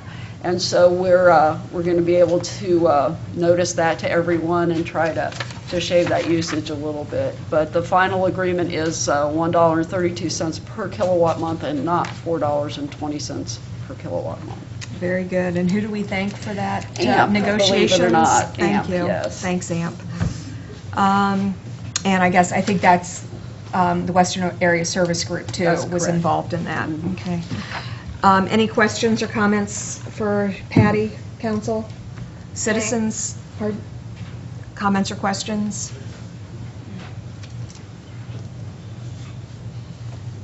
Yes, Paul Abendroth, for clarification, this DP&L is charging for delivery of the energy, not for the energy, correct? This is what, what this Correct. bill is. There, there are actually two agreements. Uh, There's a service agreement and a delivery agreement. Okay. um, Be, I'd like, a. this is a resolution, right? Do we- Mhm. We need a motion on that? Oh, didn't I ask, I'm Okay, sorry. I- Yeah. I'd like to move that uh, we accept and authorize the village manager to en- enter into the settlement agreement. Second? All those in favor signify by saying aye. Aye. Uh, Next is Resolution 2015-16, authorizing the village manager to file an application with Nature Works for grant funds. Okay, whereas the state of Ohio, through the Ohio Department of Natural Resources, administers financial assistance for public recreation purposes through the State of Ohio Nature Works Program, and whereas the Village of Yellow Springs desires financial assistance under the Nature Works Program, now therefore be it resolved by the Village of Yellow Springs, one, that the Village of Yellow Springs approves filing an application for financial assistance, two, that Patty Bates is hereby authorized and directed to execute and file an application with the Ohio Department of Natural Resources and to provide all information and documentation required to become eligible for possible funding assistance. Three, that the Village of Yellow Springs does agree to obligate the funds required to satisfactorily complete the proposed project and become eligible for reimbursement under the terms of the Nature Works program. Can I have a motion, please? So moved. Second. Okay. um, Patty, is this yours to describe? It is. Um, I was actually contacted by uh, Chris Bell Bednar last week um, because the deadline kind of got away from her for Nature Works. The deadline, application deadline is May 1st. And the way it works in Greene County, um, everyone gets together and cooperatively kind of decides who is going to get their project funded from year to year because it- that way it gets passed around to the different entities on a fairly regular basis. Um, This year, um, there were 40, I believe $49,000 plus in Nature Works money available, and the two entities up to be funded were Yellow Springs and the city of Xenia. Um, So we both sent our proposals to Chris Bell, and uh, everyone voted on it and decided to split the funds. So if the village decides that um, we want to pursue this, um, what we will apply for is um, new playground equipment for the toddler playground out here by the skate park. You have this in your packet, which is the proposal. Um, The front page is the equipment as it currently stands. The second page is the proposed new equipment, and the third page is the budget. Um, So essentially, we would get um, $29,000 worth of equipment um, for $7,000. Um, Part of our, part of our contribution uh, would be in-kind, it's a 75-25 grant. Part of our um, match would be in-kind um, labor to install it, and the rest would be um, the per- actual purchase of the uh, equipment, so. And I know that um, Nadia is working with us on, on that, looking at that. And the location will be where? It will be where the equipment is now. We'll just take the old equipment out and put the new equipment in, but it'll be the same area. And the swing set is remaining, that will have the It- skateboards Yes, the added? swing set's remaining, it- but it'll, it'll be moved back to the original location. Okay. Where it was. And Nadia's working on what, She was looking at the, um, there was a question about the, what it was actually Right, made of. Okay. So, And is there, um, so that there's a toddler piece, which, you know, this, I remember when this, when this um, playground went in, it was specifically because Mills Lawn did not have accommodations Mm-hmm. Right. for toddlers. Right, And, yeah. okay. Um, Any other comments or questions from council? Comments, questions from citizens? Bringing it back, back to council table. All those in favor signify by saying aye. Aye. Okay, uh, now is the um, time in the meeting where we hear from citizens about items that are not on the agenda. Um, Same rules apply. Come up to the microphone, state your name, and you have three minutes for your comments. Um, Anybody here to talk about something that's not already on the agenda? Yes? Can you take a fight? The auditor, please. Yeah. Henry Myers, 247 uh, Whitehall. Um, um, This is a uh, uh, out from left field type thing, discussing that that thunderstorm out in the, uh, over the horizon that that you guys see of, of um, no large uh, manufacturer coming to the village, and how are you going to get uh, income taxes or whatever coming in? Um, And, and kind of thinking about this, I've come to the conclusion that Yellow Springs has a very regressive uh, taxing system, taxing and levy system. And I'd like to uh, give you just a sketch of it on this. On the one hand, um, say a, a couple that uh, uh, both adults work outside the village. Um, they have a, a what 250, 300,000 dollar home, but but they work in uh, municipalities that charge a uh, their own income tax, a a fairly decent one. So they are not taxed by the village. But as we, as we know, uh, the village has a, a fairly hefty uh, levy, and, um, and we all assume, you know, that the village gets a portion of it and everything. Actually, in, in doing the math, much to my surprise, the village only gets 15% of the levy that, that we all pay um, twice a year, uh, which, which for this, this uh, family here, um, you know, really amounts to uh, not, not, quote, all that much. Another couple in the village, um, let's say uh, one of them is uh, going after the, the dream job, is, is self-employed and everything. The, the other person uh, works downtown and everything. Uh, They recently bought a, a, uh, uh, you know, a home and everything. Uh, They're they're fairly young and everything. Um, In their case, the self-employed person is, is charged one and a half percent income tax. The person downtown, one and a half percent income tax. They also have a portion of the levy, this fifteen percent, which obviously is smaller, going, going to, uh, to the village. Now, This is not capitalist versus, la- versus labor. The- These are two good families, uh, the kind we want in Yellow Springs. Kids go to the school, they participate in the village, but they're on different paths in our journey through life. But the, the difference in what they pay for the village, for, for police and all this, is that the three minutes? Mhm. Yeah. Yeah, You know, it's, is finish. substantially, substantially different and is regressive, which, which I, you know, is embarrassing to me, at, at the least.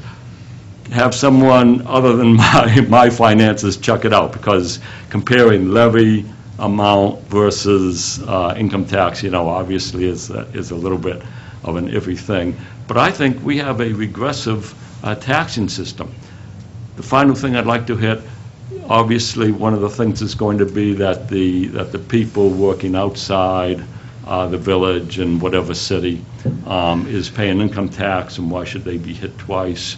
Uh, The person, the person, the self-employed person is being, is paying double uh, social security tax. In our complex tax system, you know, we can't especially say, you know, what's to what. It's who, how do we support the village on the items that we want? Thank you. Thanks, Mr. Myers. Any other comments? Yes, Mario? Sorry we couldn't take you earlier. Oh, that's fine. I, You I, uh, uh, you didn't want to jump into that? I apologize. I, uh, well, I appreciate everybody being here, and thanks for um, the opportunity to speak uh, in front of the council. My name is Mario Basora. I am uh, both the superintendent of schools here in in Yellow Springs, and I'm also a uh, community member, 335 Kingsfield Court, and proud. And I'm here to talk about uh, school levy.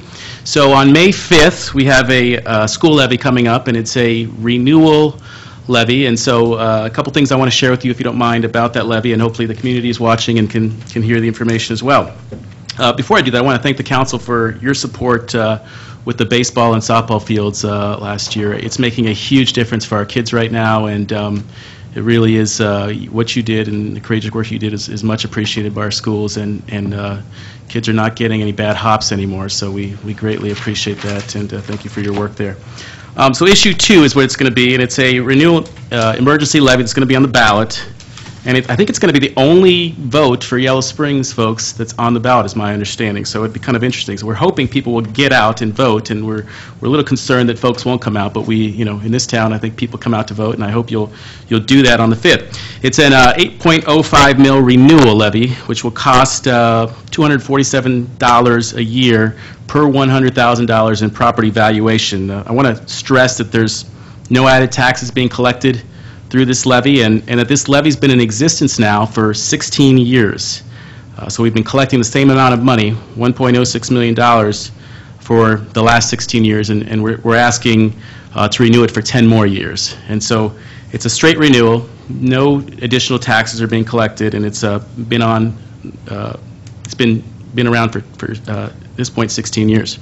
So a couple things about it, very quickly, is that it's going to help protect uh, our small class sizes that we have in Yellow Springs. If you ask folks from other districts, they'll tell you very clearly that our district has probably the lowest class sizes of any, any school district around. We, we like, we're proud of the fact that our kindergartens are all under, right around, we don't go over 20 kids with our kindergarten kids intentionally, because we think that's critically important. Uh, It will protect our strong arts programs, which continue to, to do well, and, and actually, we're going to add a, um, a uh, general music and uh, vocal music to the middle school next year for the first time in, in years, and so we're, we're thrilled about that. It will continue to have free athletic teams for our kids, and so many other districts are pay to play, well, not in Yellow Springs, and, and we're really excited about that. And it will help us continue our work with our innovative project-based learning model. To wrap it up, is 13% of our revenue, our general operating fund is, is, is what this levy is. So without it, obviously, all these things that we have that I've, I've just described would be at pretty significant risk. And so I, I want to encourage everyone to go out and be sure to vote uh, on May 5th. And it's uh, going to be issue two, which is a renewal levy with no additional taxes. So, thank you very much. Mario. Perfect. I think that you and Mr. Myers must have coordinated a little bit, since you're kind of talking about the same subject. What- But what it does um, bring up to me is that the first time our, and and thanks for for talking about the, the your school levy, so I, sorry to digress to the, to the village levy, but the first, um, before we put the levy on the ballot for the first time, we did some education and some discussion about revenue opportunities for the village. I mean, we did a- just a little bit of a primer for the community on um, just understanding and, and looking at alternatives, as Mr. Myers mentioned, of the reciprocal income tax. So I'd like to plan on doing that again, Melissa, to, to look at, at, you know, not, to to look at our whole revenue situation. So, and, and to keep in mind that, you know, we, we work, the schools are important, the schools um, are, are, um, use a lot of property tax. I mean, and, and so we, we want to work with them and make sure that we're supporting each other in how we're, we're taxing um, our citizens, so. To the degree that we have control Right. over it. A Yes. lot of it, we don't decide, it's your state, it's your state Right. gov, your state legislatures who make a lot of these decisions. But to, to, we will be talking about this, Mr. Myers. I mean, it's not going to happen soon, but it's going to be happening this year because we, you know, we are looking at a levy renewal. So we appreciate you bringing it up. So we are going to take a five-minute recess um, before we have our special reports. So, thank you. Okay, we will reconvene the meeting. Um, we are moving on to special reports. First, we have a monthly finance report from our finance director, Melissa Van Zant. Um, Before Melissa gets up,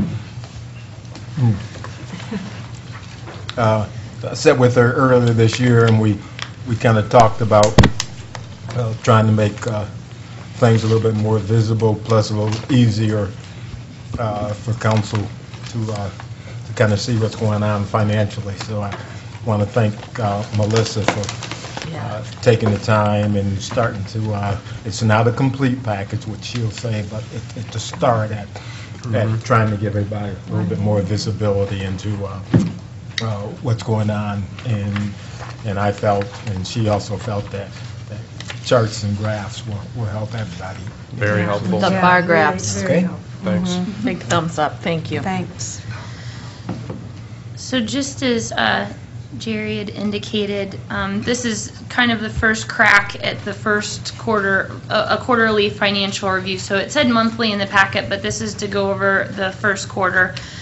Um, I'm going to try to keep this kind of brief, um, just because it's getting late. Um, I, I did break this down by the major funds, general fund, uh, special revenue funds, and then the enterprise funds. Although most of the attention is, is going to lie with the general fund and the enterprise funds. Um, With it only being the end of the first quarter and we've only got three months under our belts, um, there's nothing really major, so I'm just going to point out a couple of the highlights. Um, The property taxes are received um, twice a year, so looking at what we received in the first half, they were slightly above where we uh, projected them to be. Um, The income tax is just slightly lower, but it's, it's just by a, a small amount. Um, And then the, the kilowatt hour tax is supported by the, uh, is transferred in by the general fund on a monthly basis. So those are the three major sources of revenue that we have in our general fund. And all of those are pretty much on target, so nothing really uh, major with those. Expenses, they're kind of skewed when you read the reports because we've got encumbrances in there um, that roll over from the year prior. We've got the transfers out that happen with the general fund, which kind of skew things as well. But if you kind of extrapolate some of that stuff, we're at 23%, we should be at 25. So general fund expenditures are on track with all those departments. Um, there was a, a bit of an increased expense in our auditor's deduction department because, um, in our property tax settlement, there was an eighty-nine hundred dollar expense that wasn't budgeted where we were given too much money in estate tax, so they took it from us. Um, so that was, that's gonna have to come, um, in a a supplemental appropriation later in the year. Special revenue funds, really, those are all support, all of our special revenue funds are supported by transfers in from the general fund. We do receive some gasoline and some motor vehicle license taxes. Um, so those are outlined in the chart, and those are, um, above budgeted, so we're doing pretty good in that area.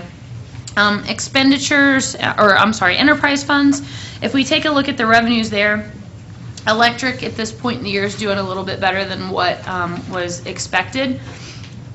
Sewer and solid waste are pretty much right on, and uh, water fund's a little low. It's a- 7% less than what was budgeted, but at this same point last year, revenues were down 5% from what was budgeted, and I'm going to contribute that to the time of the year, just because in the summertime, people use more water. So I think that that's going to rebound, but it's going to be something I'm going to keep an eye on.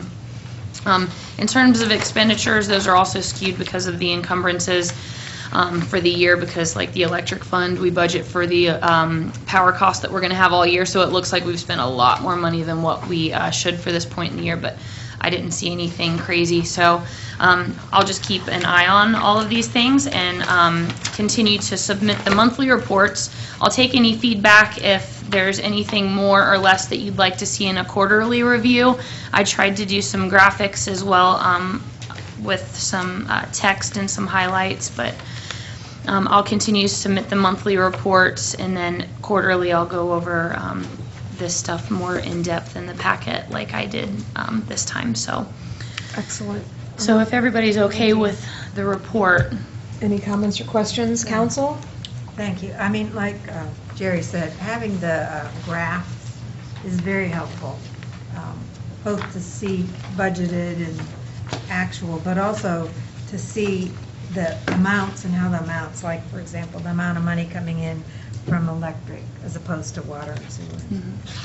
And I'll marker the expenditures as the year goes on. It's just so early on in the year right now that it really wouldn't be very beneficial. So I just took a look at it and there wasn't anything that seemed to be out of place. So um, I do have uh, two other things in which to add, um, kind of on the heels of the financial review. One of the things that was in the audit and um, has never been set up within the history of the village was an unclaimed funds fund um, which is really important to have. So I did go through any of the uh, stale checks that were not cash, that were just on our books. And I have provided a one-page sheet that has everybody's names and the amounts um, of those unclaimed funds, and they're out on the table.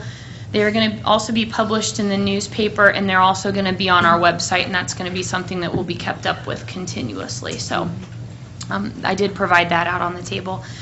Um, And the very last thing that I have for council is, I had came to council last meeting about the remote electric meters, which this is all very timely discussion um, with the, um, you know, utility ordinance and uh, procedures and everything else. We are reading our electric monthly, we are reading our water, and um, as a result, the sewer charges um, quarterly. We were approved for a grant through the BWC, and in writing that grant, we outlined all of the costs for um, replacing all of the meters in town to show the village's support for the project, because council was supportive of moving forward with the purchase of electric meters. It was my intention that this would be phased in, that we would um, do some this year, we would do some next year. Well, in the grant award process, we were notified that the entire project would need to be done and would need to be purchased within 90 days of receipt of the grant funds. The letter for the grant um, said that they were out of money for this year and that we wouldn't get it until after July 1st, which bought us some time. Um, That money was deposited last week, so I did not expect that at all. So um, I have been working very closely with Johnny, the electric superintendent, and um, we did decide to go with a different vendor as a result of him going to some training recently. A different vendor that um, provided a different meter that was going to better fit his needs. It was going to um, save us approximately $15,000 overall. Um, so the replacement cost of all the meters in town would be 184,000. Um, it was going to be 199,000 with the original proposal and the original product and vendor that was selected. So council's commitment, which there is a one p, uh, one-page uh, piece in your packet, remote electric meter purchase proposal revision. And council had committed to $95,000 this year. Coupled with the safety grant of $40,000, there's going to be a remaining amount of $49,153.94 to finish out this total project. So if council is supportive of that extra expenditure in this year versus next year, um, this would secure that grant. Um, If we don't do the whole project, we will likely lose the grant and have to give it back. So um, the electric fund is able to sustain that kind of additional purchase. So I am going to turn this over to council for their consideration and how to move forward. I do apologize for this little hiccup. Um, I thought that outlining our commitment to this entire project um, would allow us to kind of space this out, but it did not in the end, so. I have two questions. When do you need a decision? And I assume we need legislation? When do we, when do you need a deci- a decision? Um, We would have to have the purchase complete within 90 days. They want it implemented within 90 days, but I would ask for an extension. Would likely get And Johnny, you said, I mean, this does sound daunting to me, but you're, you feel as if we can do this? I think it's possible to have it done by December. I have talked to New Carlisle, and they just went through the same process. And they would, they filed for extensions, and as long as you was working on it, they continued the grant. But, uh, that would be a, it's gonna be a daunting task to change twenty-three hundred meters in a little bit of time. And, I mean, since we're getting one grant from, from BWC, I mean, essentially, we're getting another grant from BWC because of the, ret- going to prospective billing. Do you know that we're going to get, a- they're going to basically pay or refund um, like a quarter's worth of um, BWC in- of insurance payments? I'm not When sure they about go to- the when they- insurance. When they go to the prospective payments as- as, instead of retrospective. You should look into that, because we're probably going to be due a few thousands of dollars from BWC on that. So, um, they're actually sending checks. Yes. Yes, we, we have, they, they did start Well- doing that, and we received, we were, it's got like a two-year lag. But this is, this is another check. This is Okay, because they're I'll check into moving that. from, to prospective billing, as, a- uh, paying ahead as opposed to paying behind. So, Okay. look into that. But Okay. I- I'm, council, I'm supportive of think we this. do it Um, as so fast as- Yes. Whatever, as can however happen. quickly, whatever count you can do to bring this legislation to us, I would support, we would support. Are you done with your report? Do you have anything else No, on that? that was the last piece of it. And There is something that I was going to bring up in, in my report, but if I wait that long, Johnny will have to stay, and I'm sure he doesn't want to.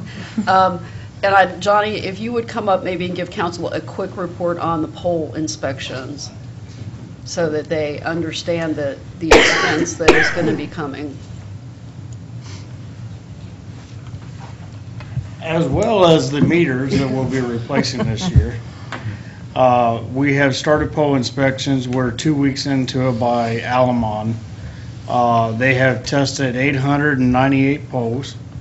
88 of them have failed, and 29 of the 88 is uh, crucial.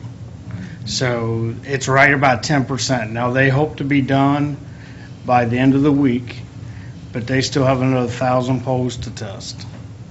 Uh, With that being said, material average per pole is about $3,000. That's if the staff does it. Um, So if we get these meters implemented, you know, we'll be, we've already changed 22 poles uh, in a year and three months since I've been here. Uh, We just changed one on Elm Street uh, that has been leaning for a number of years, and that would have been a priority. Uh, We actually have one at Mills Lawn that is a priority that they're going to change. Uh, We we was going to try to hold off till the end of the year, but if it falls, uh, I don't want one of the kids to get hurt, so we're going to, Absolutely. we're going to change that immediately. Uh, So with that being said, the pole inspections were necessary. We was hoping that it would be a lower number, around 1 or 2%, but as of right now, it is still at 10%. And and Johnny, a non-crucial pole, what does that mean? A non-crucial pole, they're saying anywhere from three to five years. It needs to be changed out. If you drive around town, you'll notice uh, some poles may have a red tag on it. If it's a red tag with an arrow in a circle, that means that pole is extremely bad. So the plan is to, is to do the critical poles, That's and then over, maybe over a five-year period then, That is correct. phase the rest of We- them in? We would start changing poles out on a regular basis. Okay. uh, Depending on the severity of the poles. Okay. And majority of them are in the back right of ways. Okay. And Johnny, can you explain, these, the pole inspections are supposed to be done every five Pole years? inspections are supposed to be done, uh, every pole is supposed to be inspected within 10 years, And how long's it been since? 1991. Uh, So it is, with the windstorm and all that, uh, a lot of poles were replaced, know.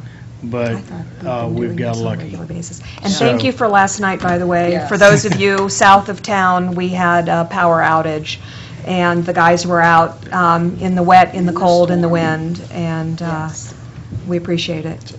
Good, good job, Johnny. Thanks. Okay, now we're moving on to... Before we, Oh, do we need Do we need a motion uh, Patty on to, or the, bring us something back on? I mean, we Um, just- It'll be we a told her- supplemental appropriation, correct, Melissa? For the extra? Yeah. So it'll just be included with this. If you want to do a motion now to go ahead and, and submit it as a supplemental appropriation, then Melissa can do that as she brings you um, a list of them later in the year as a housekeeping matter. Are we Okay. talking about the poles now? or- I think we're talking No, about the the- meters. the meters. um, in terms of financial report, do we need a formal motion accepting that report? Judy, I'm looking at you. For the auditor? For the auditor? Yes. Oh, okay. Yes. So Lori just made a motion. Can I get a Second. second? All those in favor signify by saying aye. Aye. Okay, thank you. Um, Mary Okay, Ann, um, I will yeah. have you introduce Yeah, I'd this like next to presentation. introduce um, Deward Headley, who is on the Environmental Commission. And um, one of the activities of the Environmental Commission is uh, to be looking at the impact of climate change. And uh, Deward is the primary author of this first quarterly report on climate change, the impact on Yellow Springs and the region, and uh, the report also contains some of the things that are being currently done, and every quarter will be added additional things that people are doing locally and regionally to address climate change. So thi- uh, this was in the council packet. I had asked council members to read it. Uh, The report will not cover everything in the packet, but particular council members and citizens, if you have questions, ideas uh, after the report, we would love to hear them. Thanks. So Welcome, there's- Deward. The, the PowerPoint did make it in the packet, but there, other than a couple of graphs, there's nothing in the PowerPoint that's not in the report. So what we're trying to do today is just provide an educational, uh, introductory view of the basic science of climate change. It's a good place to start. But then we really want to go into the impacts, um, what other communities are doing, the impacts to Yellow Springs, and, and um, what people in Yellow Springs are doing, and where the opportunities are at. So the basic science of climate change is the atmosphere works like a greenhouse. Uh, We've known about this for 200 years or so. Um, The better the greenhouse works, that, uh, you know, the thicker the windows on the greenhouse, um, the more heat gets trapped, and that's, you know, what, what happens when you have increasing greenhouse gases. Temperatures go up, ice melts, sea level rises, and there's, you know, the um, climate.nasa.gov is a great site to go to. It's all graphs, really easy to understand if you want to know more about the science. So, so what? Sea level is going to rise. Um, the oceans are then going to start to acidify, and um, there's going to be some dramatic shifts in weather patterns. Right. So those are the the basic things that are going to happen, and uh, we're already starting to see some of those things happen today. Uh, So the first quote is from the International uh, Panel on Climate Change. Um, There's also a similar quote in the the report from the EPA. We're already starting to see the impacts of climate change throughout the world, including here in Ohio. Um, Essentially, what it comes down to is that we're going to have uh, significant changes in weather patterns over the next uh, 30 to 50 years. Um, Even before that, uh, we're going to see some significant changes that are going to cause things like uh, potential global economic losses of 3.2% of the GDP, which, if you're an economist, that's a pretty scary number. Um, There's going to be freshwater scarcity in a lot of places.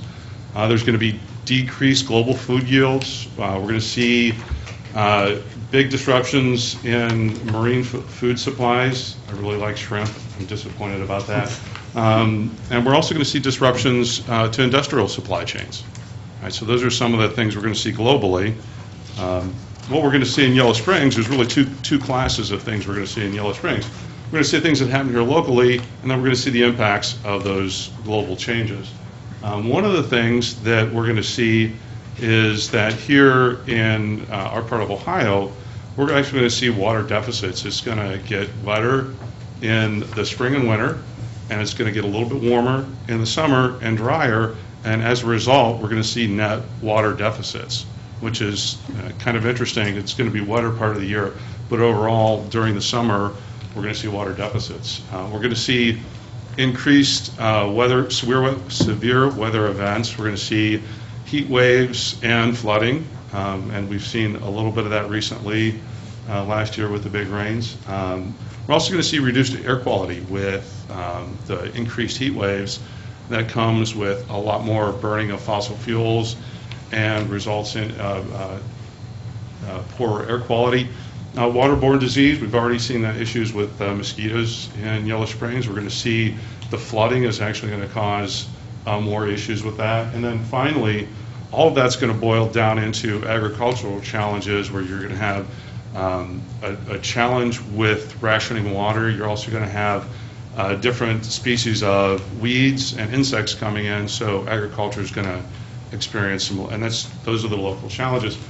But the, the bigger, more important challenges are things that are going to, they're going to happen globally. They're going to impact Yellow Springs.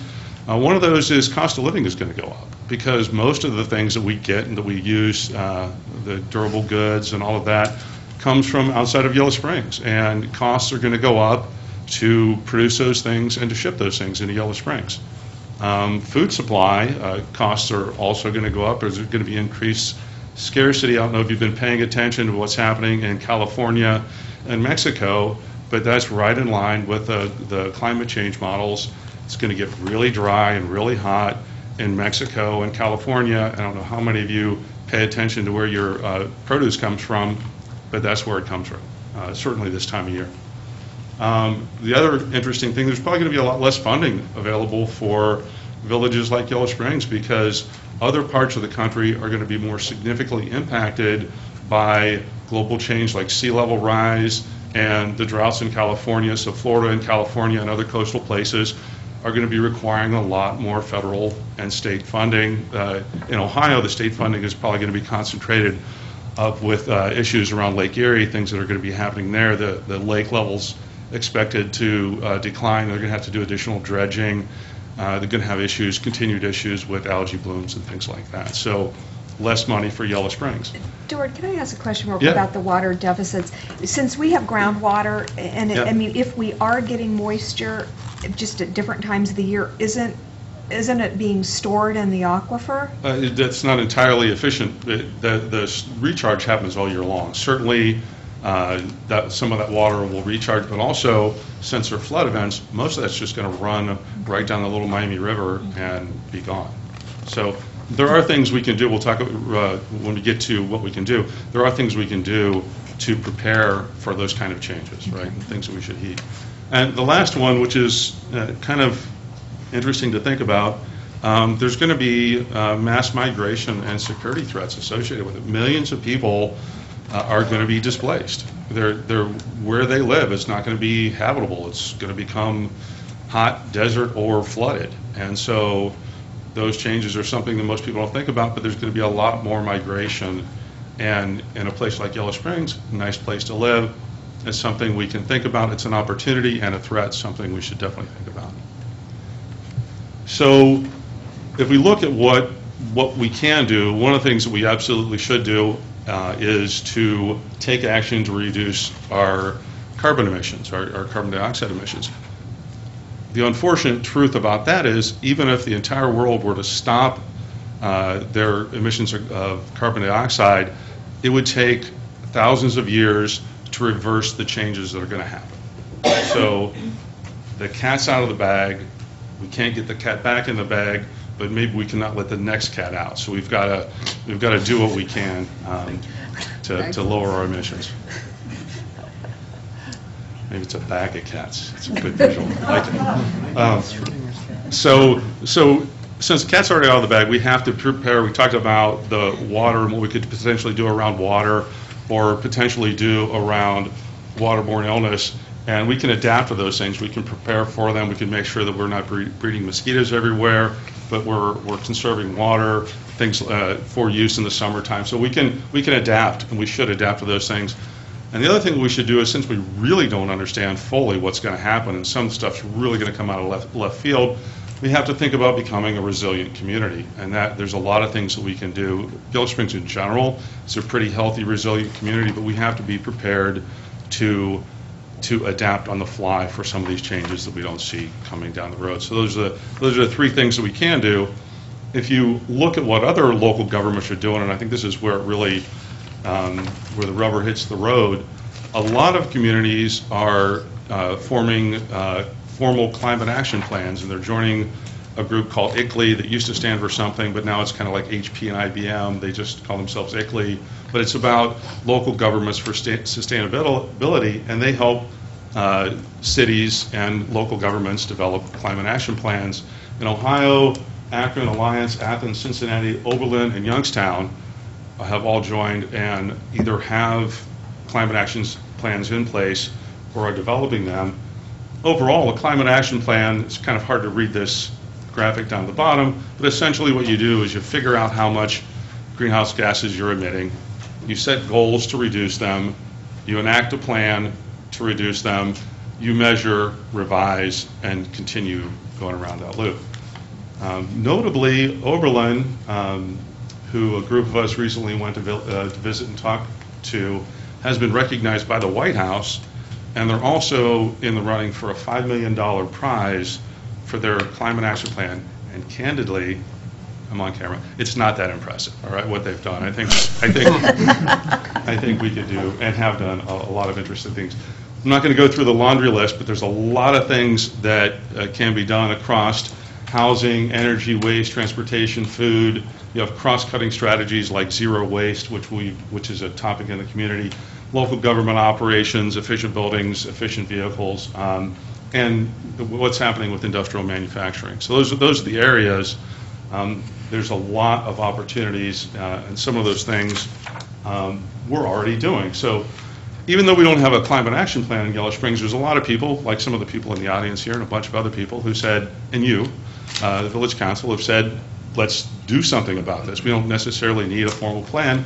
Uh, The village contracts around renewable energy um, is a big, huge thing. Um, Local solar, as uh, controversial as that is, um, is another important thing.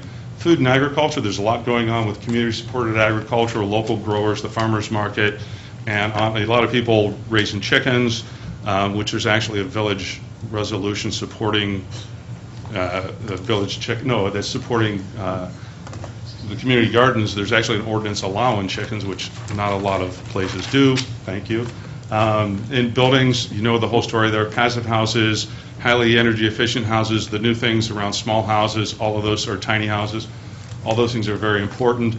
Great adoption of bicycling and walking in town. We've got the, what I like to call the Sea of Prius. There's a ton of uh, energy efficient vehicles, electric vehicles are starting to take place. And there's a strong desire to do a lot more. There's a whole zero waste effort. Um, There's everything that Community Solutions is doing around education and trying to move the community forward. There's a, a group called the Yellow Springs Resiliency Network that is meeting and working on, on trying to drive change there as well. And that's, there's a lot of groups throughout the community that are interested in moving this issue ahead. So that's what we're doing. What can we do? What are the, what are the near-term opportunities? Uh, I think the first one is, let's get on a, a timeline to develop a plan, right? Let's, let's look at how we do that. Um, Continued pursuit of renewable energies, especially local, affordable renewable energy, is huge. Um, Continuing to support um, the actions being taken by residents, organizations like Antioch, and, and businesses as well anything that the village can do there, um, really important. And then finally, including climate action considerations in all the village purchases and contracts, like what's being done with the waste contract, for instance, is, so those are some of the big opportunities, right? The real question, though, is, what would you like to see us do next? It's a huge, complex, ever-changing topic. What do you want to see us do next? Mean, this is an impressive report. I mean, what I would say is, what, what do you think you can do next? What can Environmental Commission do? I think that, you know, this is something that, that I don't know that, that we could commit a lot of staff resources to, but, you know, it, where, what kind of support? This is incredibly impressive, and we really appreciate it. And I know there's a lot of expertise on, on Environmental Commission and And- also and- on the and the, Energy uh, Board. the Energy Board, And, yes. and so, you know, I, I guess I would, you know, like, like to hear maybe a proposal from you all. I, I, I'm certainly supportive, and, you know, I think we really are doing a lot. I'd like to see how we can communicate that better. We're not communicating the Efficiency Smart program nearly as well as we should, and it's a great program. And, um, you know, one of the points in here talks about um, energy improvements to, to to rental properties and, and to properties in general. So, you know, there's a lot of things that I would, I would definitely like to see us do, but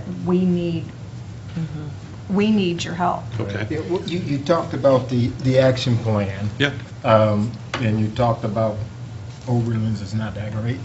Right. So I'd like to see us have a great plan. Um, What type of timetable will we be talking about in putting the plan together? Because, I'd like to to direct you guys to, to move in a positive direction, and to me, without a plan, it's hard to, hard to move. Right, I think a plan helps, certainly helps publicize things, if nothing else. Um, Interestingly, the, the plans are a really kind of a complicated thing, and it's generally a two-year process, from what I've seen. Um, It, it might be able to be shortened, uh, but there's a, the big challenge is around uh, that baseline, um, actually understanding what's going on in the community. That's, that's the biggest challenge. It might be a little easier for us, since we have the, the energy thing, pr- uh, the electricity thing pretty well in hand, but then you have to uh, consider food and transportation and housing, and that, that's a pretty complex picture, but that's, that's what it would start with. So uh, I think that's something, I know there's interest in the Energy Board, uh, that's something we could certainly come back with a timeline on what that would look like for And, that and plan. if there there would be a cost associated with it, you know, because, you know, a lot of folks here volunteer, but, you know, Right. We- we've got to be realistic also to say. I, that, I think uh, that's very true. I think that in the end, a lot, there's a lot of opportunity to realize savings, uh, certainly from a village perspective uh, with the, the efficiency opportunities. Um, But there is some real cost associated with creating an actionable plan. Yeah, and if, if, you know, if you could bring that back to us also, because, you Sounds know, good. it, it may take you, what, you said a couple years? The- To get the plan, develop the plan, plan. and get it place to where you're actually taking action and moving ahead, that's a, that's a pretty normal timeline. But again, what we invest today could be a big savings tomorrow. Big savings, So there's a lot of things that we've already done. I mean, the biggest challenge that most communities face is around electricity, and we're, you know, I would say at least 80% of the way there, and, you know, and which is uh, pretty unique for a community that that hasn't said, we've got these goals that we want to reach. We've just said, we know this is the right thing to do, so let's do it, and that's very commendable. In terms of the, um, the flooding issue, are there near-term things that we can do? Um, it- I mean, I know some things like, I mean, just the water barrels, obviously. That's a- can- absolutely, yeah. Can help, because Yeah. they can collect the water from roofs and things like that, that would otherwise just go right into the river. I- I think There are that's very certain true. kinds of um, uh, landscaping that retains water, not in retention ponds usually, but sort of rain garden kind of Right, things. there are, there are all kinds of things, those are very uh, effective things that could be done, especially with new construction, um, because that's going to exacerbate the problem. Mhm. Um, And so, you know, and certainly anybody that is looking to retrofit, I know I'm looking at putting a retention basin, a recharge basin, and, and, because currently all of my water goes right into the creek and, and down the Little Miami ultimately. Um, Mhm. But there's really no reason why I couldn't just route that. I've got the space for it. I could just route it over the, over my lawn and let it recharge down into the groundwater. Right, so that, and that actually helps keep our aquifer strong, It does. right? So the more we do on our little properties Right. Collectively. And, and that helps us better it get to is for our resiliency. aquifer. Yeah, uh, there's a lot of things that that will really help, those kind of, those kind of strategies, absolutely. I mean, this to me seems like a great topic for one of our work sessions. Mhm. Um, And I'm also wondering, I mean, clearly Athens and and Oberlin are probably the two communities that I think make the most sense, connect most to us. You know, I'm thinking maybe if we could even invite somebody from one of those two communities to come to our, a work session when we get it on the agenda to, to talk about how their community implemented Yeah, a Created plan. their- in created fact, their is, plan. is coming to, I think Community Solutions is inviting, inviting Oberlin to come, and we Right. talked about maybe trying to coordinate. Okay. But one thing that I think uh, Deward didn't mention is, uh, in regard to Yellow Springs, a lot of the plans are uh, developed at the top, and then maybe they sort of sit on the shelf. Whereas in Yellow Springs, it's really bubbling up from the bottom. So we're actually doing things, all different groups and individuals, and the village government, and businesses, but we don't have the plan. So, I mean, that's a good thing. Right. And one of the things that's interesting is the way you work a plan is you establish a baseline year.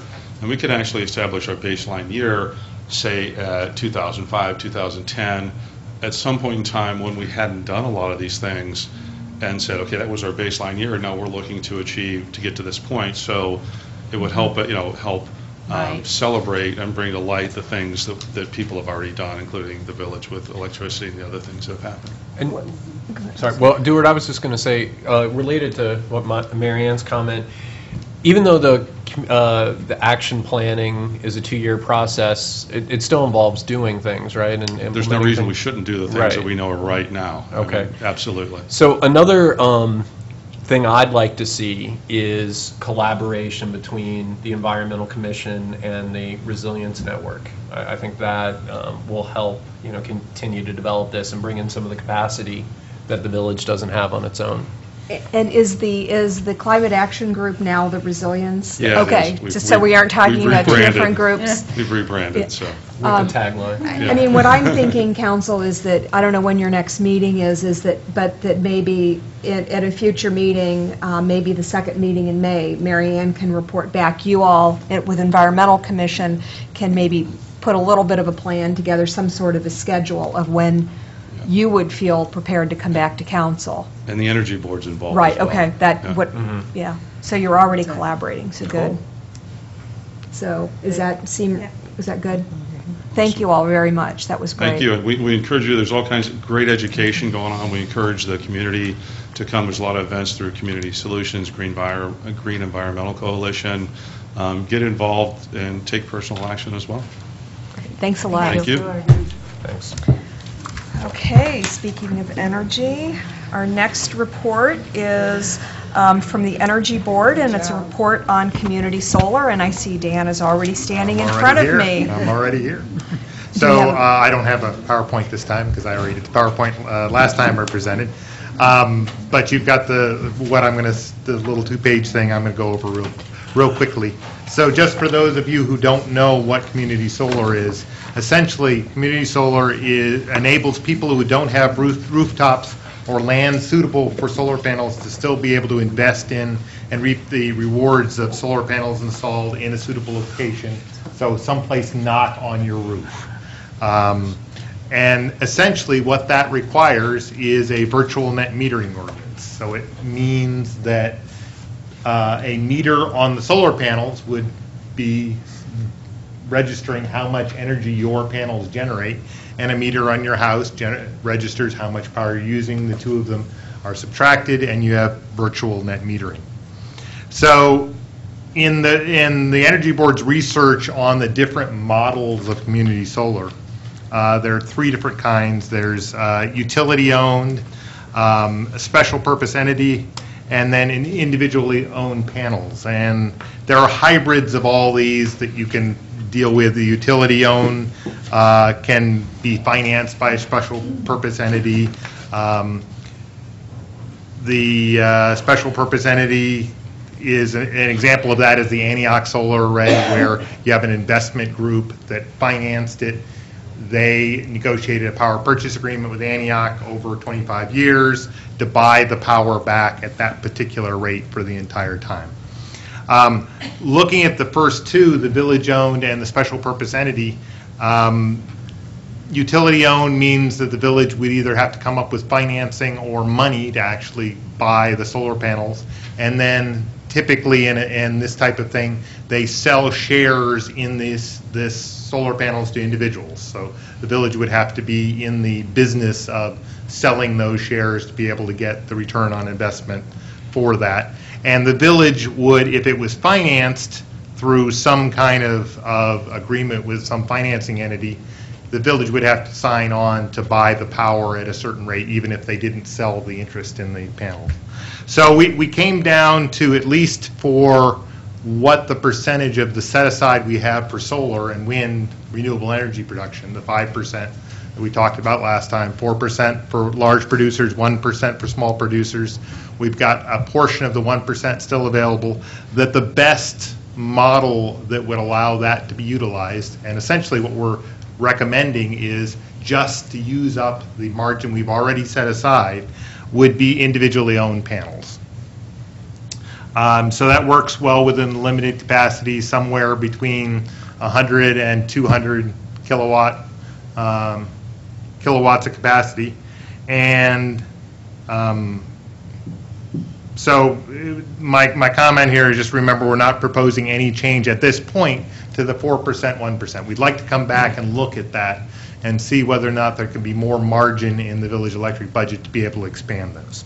So why should we do it? Deward uh, listed the, the reasons as far as climate change. Um, This may actual, actually save uh, the village money in the long run.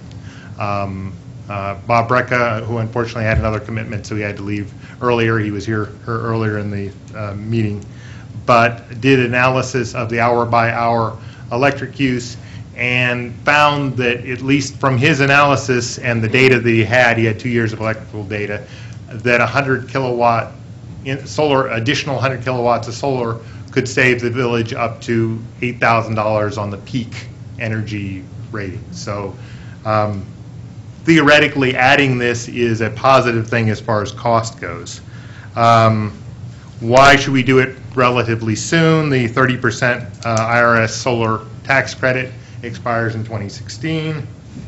Um, One of the other comments I made last time, if we actually, uh, if the, if somebody in the village or, or a developer installer did uh, 100 kilowatts or more of an installation, there are programs available for free batteries for an installation like that. The utility companies get a little bit of a tax break if they install uh, batteries along with the solar panel installation. And essentially, what they do is they charge those batteries during non-peak times and then sell the energy back to the village during peak times at the premium rate. And that pays for the batteries. But the benefit of that for the village is uh, if you had this battery bank located next to a building, uh, it could be used during power outages to power an emergency shelter or something equivalent to that. And that's what they're typically put in. There would be no cost to the village for that. Um, Serving uh, multiple people with one solar installation creates economy of six scale. I talked about all those things. Um, So on the second page, the next steps, the- so the next steps with this is uh, the village staff working with the Energy Board and John Courtney to try to come up with an uh, addendum to the present renewable energy ordinance. Um, When we were investigating this, we found there were all kinds of issues with the present ordinance as far as detailed things. Uh, We didn't define distinctly how the output of solar arrays that are presently installed or any future arrays are installed are actually rated. What is the output? Um, You know, we, we require uh, Patty to uh, say that you can't install any more than the 5% altogether. We don't tell her exactly how to rate the, the panels that are installed, so that needs to be taken care of. Um, The energy usage of the village is going up over time, or at least changing over time. Uh, Does the 4%, 1% change with it? We didn't really define that in, in the uh, present ordinance. Uh, We don't say what happens if you have new construction. If you want to put solar panels on your house for new construction, we defined in the ordinance that you're supposed to take the, the, your average usage for the last year, and that's the maximum amount of solar panels, so we don't have people becoming large energy producers by putting huge arrays on their house. Well, what if you've got a new construction? We didn't define how that's done, so that needs to be done. Uh, We, we also didn't define lots of things as far as uh, what happens if somebody adds solar panels to an existing project? What happens if you don't get a permit? What happens if your renewable energy installation predates the ordinance?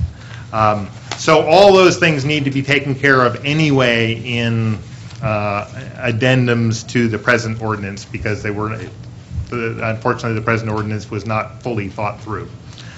To enable community solar, we'd have to add uh, virtual net metering as part of the ordinance. So essentially, this ability to have two meters interrelating, interrelated. Uh, In order to enable it with the present 4%, 1%, we have to, to find, it's, and it's somewhat ambiguous in the present ordinance, that um, a community solar installation is defined as a small producer if individually owned or small business owned sets of panels do not exceed the 25 kilowatts. And my comment on that was just to address, we need to, there's some ambiguity in there in the, in the actual language of the ordinance. And if we're going to enable community solar, we have to say, okay, if you've got a large solar installation, it's put in by some XYZ company, but it's owned by 10 individuals, the individual panels, that, that each individual panel, each person who owns those individual panels, that number should be used, not the overall array.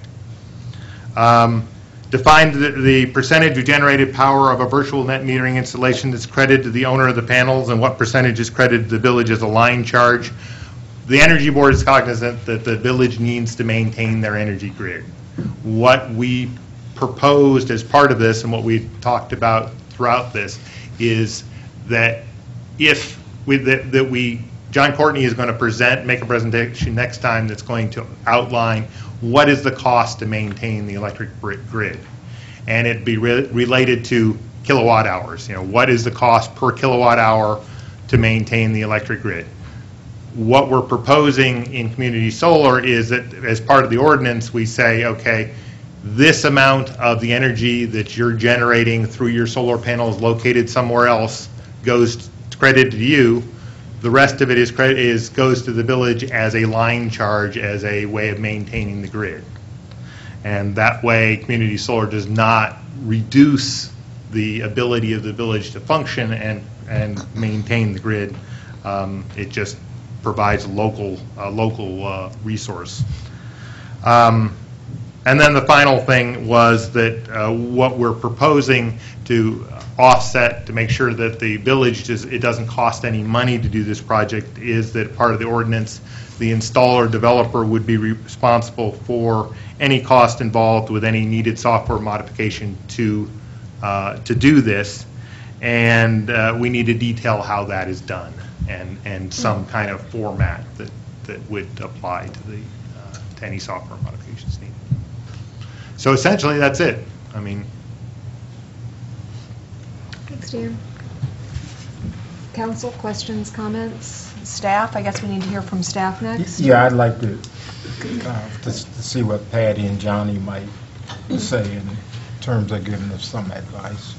Well, I mean, um, as council's aware, Johnny and I have had some concerns um, with this since um, we became aware of it, and some of those have been answered um, throughout the process of meeting. Um, I I was hoping that John Courtney would have um, available for us today a brief on the 23rd, I believe, of uh, March. Johnny and I met with AMP. um, They brought just an updated presentation to us, and during the course of that, they um, started talking to us about a program that they have where they're installing community solar um, uh, facilities throughout different places, different states. So three days later, we met with John Courtney about the uh, preliminary rate proposal. We talked to him about it, and he said, yes, that's one way to do it, but there are other ways that um, we could potentially have our own array um, that didn't directly involve AMP, and therefore it would be owned by us. And he hoped to have that, the different um, models of that prepared for today, and unfortunately, we don't have it in our packet, so he will be discussing that next week. He does feel that there is a way that we could potentially develop our own community solar and still be able to share cell, um, share credits in it to the different um, residents who can't put solar panels on their homes for whatever reason. And um, Marianne and Rick and I talked a little bit about it after um, the Energy Board meeting the other night. Um, I really don't have a lot of information. Basic information is all I have right now. Um, You know, the big difference would be that the tax credits would not be available to the citizens, but, you know, the question is, do, do we care about the zero carbon footprint, or do we care about the energy credits? And I'm sure that answer is different for different folks. And so, um, but the benefit to it would be, well, the village would own it, um, and it would leave the, potentially leave the other residential um, allowance available for folks who could put it on their homes in the future. Um, And those are the things that John wants to address um, next week. Johnny, do you have anything that you want to? If you do, come up, please.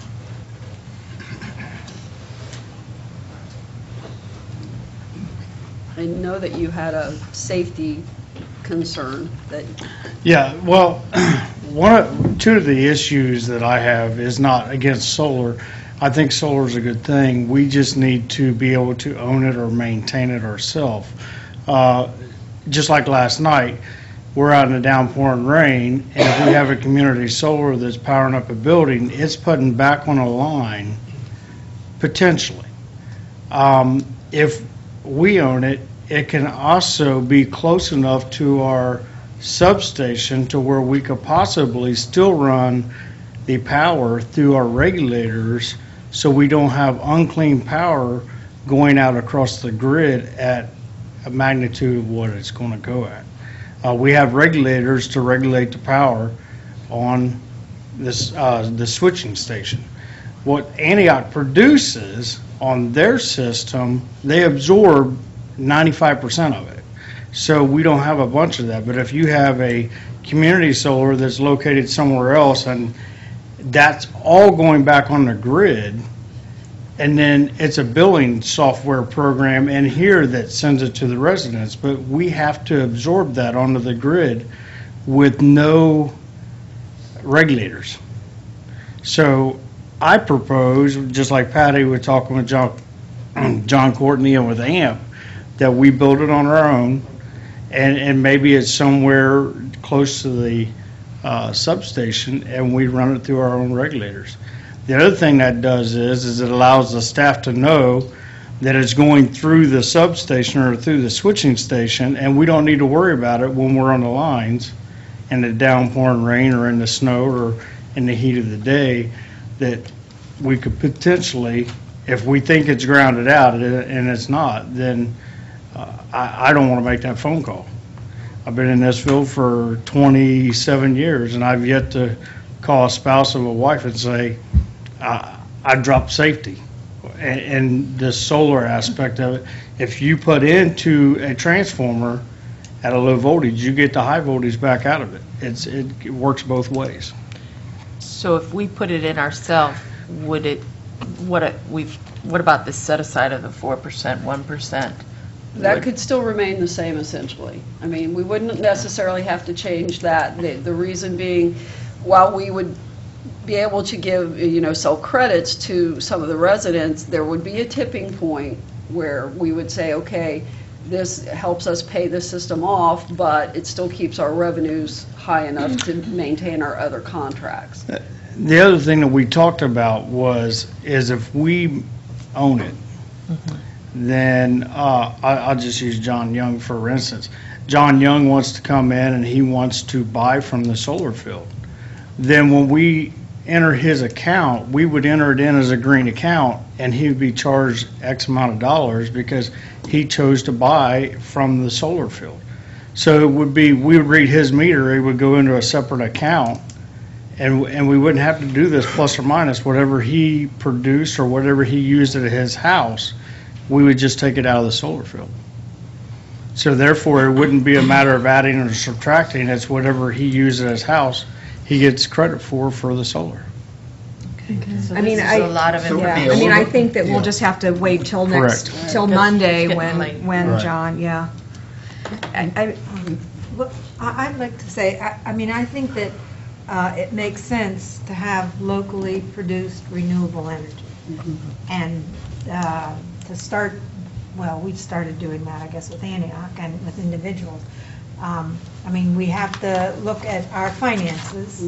We don't want, but it makes sense to do that.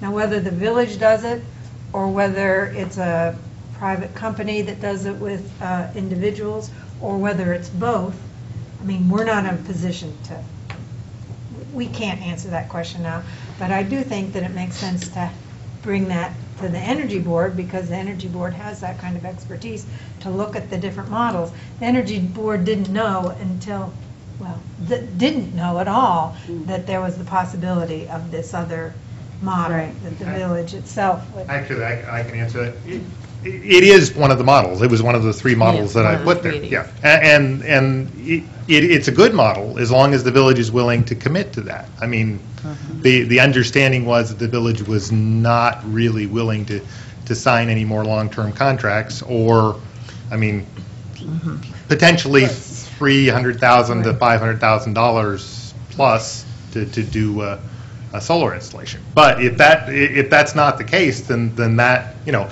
it, it's fine. That's, that's a great way. You could do both ways. Um, You know, it, it, it's, you know, It's the- us. both of them are, they are good ideas. And, and and in fairness to Dan, um, apparently there are some new models out there that are a little bit different from, from the ones that he's familiar with. So, I mean, a- and that's why John was going to write his, his brief. His report, And I, I would like to say also that, uh, you know, solar panels and the idea of generating our own electricity is really sexy and it's a lot of fun. But I feel like, especially after Deward's report, I mean, if you look around this community, we need investment in the existing real estate we have that isn't energy efficient. And it, it's, you know, I wish people would, would be putting some, some time, and I even worry about village, you know, I even think about village staff. You know, if we build our own solar field, you know, could we be putting those resources into a program for for energy rebates? So, I mean, I really want people to be talking about that, too. I don't want to just be talking about the fun, sexy projects. I want to be talking about, because that deals with the affordability issue. It deals with, with our citizens' needs more so than, to me, the solar does. So um, that's, you know, I guess in council, you know, I think that that's one of our values, but we've got to take responsibility for encouraging and, and staff and how we're going to get that onto the agenda. Um, So, Can I ask one other quick question? Uh, And and I guess I can direct that to uh, Patty and Johnny. Our our present uh, ordinance or whatever, regardless, is it something we need to start looking at? Oh, it needs to be rewritten. Okay. Oh, yeah. Okay. So do, I think every, I think everybody agrees on Okay. so is that something, or John will help with that? Mm, John Yeah, Courtney? And, and we're actually, we're getting a few examples together on how we can get, because that's, it definitely needs to be rewritten, yes. Yeah, Okay. yeah. So I- I'd I'd like to see us move forward in- in in getting that document into something that's usable. Okay. Absolutely. I agree. Thank you all, and thanks, Dan. Yeah, Thanks thank to you, the rest Dan. of the Energy Board Thanks to also. the board. Sorry to Bob that we're slow. Um, Next item on the agenda is proposal for Channel 5 employee. I, will Patty be taking that? Um, I have it, yes, I'm taking it if I can, if I can find my paper. Um, Essentially, um, council is aware that um, Paul and Jean have decided that they're going to maybe cut back on the, the many, many hours that they have been volunteering over the years. Um, Thank you. and um, that we um, need to look for some way to, um, to, I'm I'm not going to say replace because I'm- I don't think that's really possible, um, but to uh, find someone to uh, assume their duties. And um, to that end, we started investigating different uh, possibilities. And um, last month, I think, or earlier this month, at the uh, CAP meeting, a person came forward who used to volunteer at the station and said that they would potentially be interested in filling that position. And that person would be Susan Gardner. And um, I'm sure that you all know Susan, and um, what was discussed briefly between her and myself and Brian on a Sunday or a Yep, Saturday a Saturday. um, was a, Susan's not entirely sure that she really, really wants to do this. Um, And so she asked for a temporary, like, short-term, five-week um, contract, at 20 hours a week, um, and I believe $15 an hour, Brian? Yes. um, to, um, to work the position uh, and assume the duties. And at the end of that five weeks, she would either say, yes, I am willing and able to do this permanently, or she would say, I'm not willing and able to do it permanently, but here's what I see your needs to be to fill that position. And so um, the recommendation that Brian and I have uh, essentially for um, council is that we, uh, in fact, enter into this short-term agreement, and Chris was working on a contract. Um, I don't think he's quite there yet because we threw quite a bit of stuff at Chris last week. We'll have it later this week. And um, so if council wants to move forward with that, um, it can come out of the, um, The Time Warner money? the Time Warner money, um, which goes into the general fund. But you should be aware that um, if, if we decide that this is how we want to move forward permanently, um, that it, we're going to have to find, we're going to have to use general fund money to fund this position.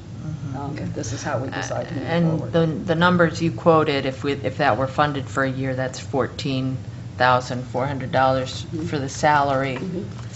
Um, What would be the benefits on top of that? Would there be? Um, No, this person would be a contract employee, there would be no benefits, um, and they would be responsible for their own taxes and things. And one of the issues we talked about is a lot of the work can be done remotely. Right. So that uh, plays a factor. Um, Yeah, I also want to highlight, you know, Susan actually volunteered from the state, for the station from 2005 to 2011, so she brings a lot of experience. And the thing I think really she brought to our attention is that we probably don't have enough data to really figure out what this entails. So having somebody to come in and, and do that work um, means that we can make a better decision. Are we allowed to do that kind of contract? It seemed to me that a few years ago, we, we, the we, there was stuff from the state that said you can't. The remote is the key. The fact that Oh. she can do it remotely. um, if- Offsite. Yeah, if, uh, if There's a lot of the. prim- Percentage Right. of, of, Oh, if they're okay. primarily here, they can't, Right. it can't be a contract. Right. Because they're an employee. Right. But All right. So I'll let you, I, I'm certainly supportive of it, It's certainly of Susan. this- I have a lot of experience with Susan, and I think she- it would be a great first step to gather data. Yeah, just one quick question. Patty, you were saying that, you know, we could use Time Warner funds this year, but in the future. Well, I mean, Well, Because Those you- funds are going in the general Yeah, fund, so Right. You, it- you it's can all use them. at- general fund money. yeah, You can use them every year. We make Okay. about thirty-two thousand dollars Okay. off the franchise, but the fact of the matter is that it's general fund money that is Okay. currently used for other things. Okay, um, so council, are we directing Patty to um, draw up a contract? Chris is working on a contract, and we're all supportive. Okay, great. Thank you. Um, Next is the roles and responsibilities document discussion. I will turn that over to council members Housh and MacQueen. Okay, um, so this is the, um, well, we've looked at this document, which is one page with an attachment which is called Public Service Values for Local Government Officials. Um, We have, council's looked at this more than once, it's been to the commissions. Um, There was some concern on the um, HRC in particular about some of the wording, uh, which was removed. Um, That wording said something about, uh, well, the term respect, profession, respect, respectfully, professionally, and something else. That was- Responsible. That term was removed, and instead, the last bullet says, uphold the public service values for local elected officials articulated by the Institute for Local Self-Government. And then there's one page of values, uh, which, there are a couple things actually that should probably change because it references elected officials, which commissioners are not. Um, But basically, I think the, that, that statement of values is very informative. And I would suggest that the last phrase of that sentence, which says, even when disagreeing with a particular council decision or action by village staff, be omitted, because that is addressed in the value statement. The other thing um, that, uh, when the the last HRC meeting, people, some people were concerned about was the idea of signing this document. Um, To me, that's not a critical thing. The critical thing is that people see this and they say, yeah, I'm behind this, I agree with this. So I, I would be fine with, and I think actually people said they'd be happy to initial it or something. So I don't see that as, a it's not an issue for me. So So, I'm done. I mean, you sign it or initial it, you're here, you you know, what, to me, I don't see much of a difference between the, the signature and an initial, so. There is, Yeah. if you, uh, are you wanting to? Yeah, yeah, I mean, I, That's not quite what we said. Um, I just Chris couldn't- is Yeah. here, Do you wanna I let- mean, from, I would like to hear from Chris Yeah. uh, from a legal And then perspective, we'll- and then from we'll- citizens. Now? yeah. Yeah. Um, The, uh, let me just make a couple preliminary comments, and then I'll address the initials versus signature. Um, The, it seems to me that the question is, is that you- when you pose it to the legal counsel, is what are the legalities of the document? Um, There's no bright line here, there's no yes or no. Um, This discussion began with a a- a belief that civility was an important value to promote within the context of the committees. Um, I say this from my own personal experience on boards that I've served on. I found it helpful when there were documents in place that told me what the expectations were of what um, I was, uh, what I was entering into. So I think that the document does have an explanatory component to it which provides some value. Um, From a legal standpoint, uh, I like the fact that, um, that it says that if you take on the role of uh, serving on a, on a board or one of the commissions, that you don't have the capacity to represent the village. I like that from, as a lawyer, because I think that what happens sometimes is that when somebody takes on a a commission role, that people want to influence those folks because they have the ability to advise counsel. And I think that there's sometimes a, a a belief, um, more likely than not in an unintended one, that uh, there's some con- you know, import to, to being and serving, um, other than just the, the, the public service aspect, which obviously is commendable when people are volunteering their time um, and energies. Uh, the last part is, is that kind of gets to this initial, uh, initial issue, is that, you know, in my view, and I, whether it's an initial, whether it's a signature, all, that really is a reflection of, there's a, that one has read the document and has acknowledged what it says.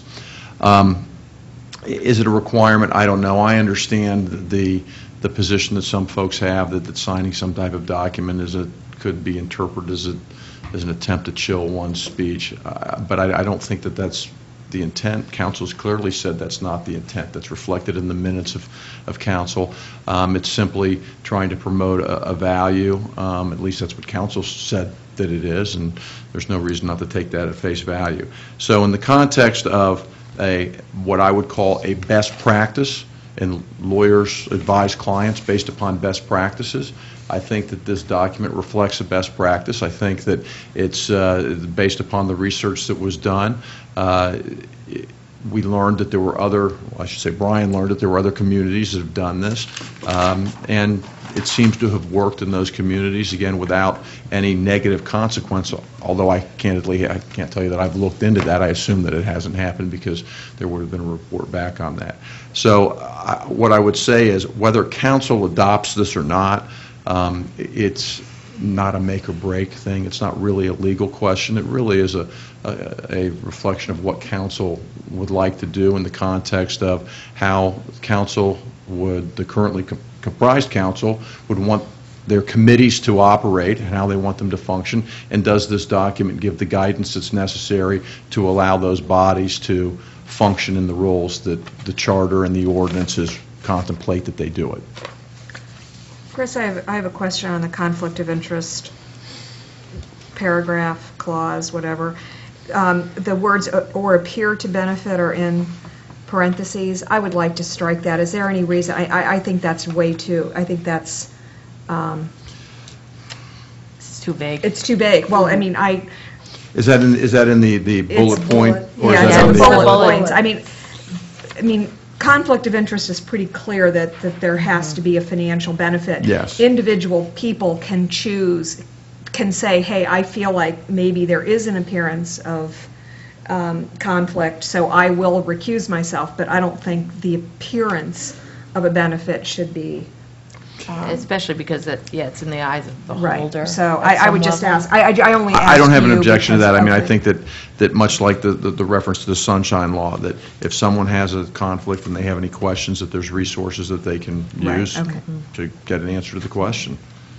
Um, So I don't think there's an issue with that. Okay, any council, before we hear from citizens, do we have any other questions for Well, Chris? I- Yeah. You still didn't answer my question. Okay, what- In other words, if, if a signature, signature or initial is immaterial, should we have a signature block on here and ask people to sign it or, or not?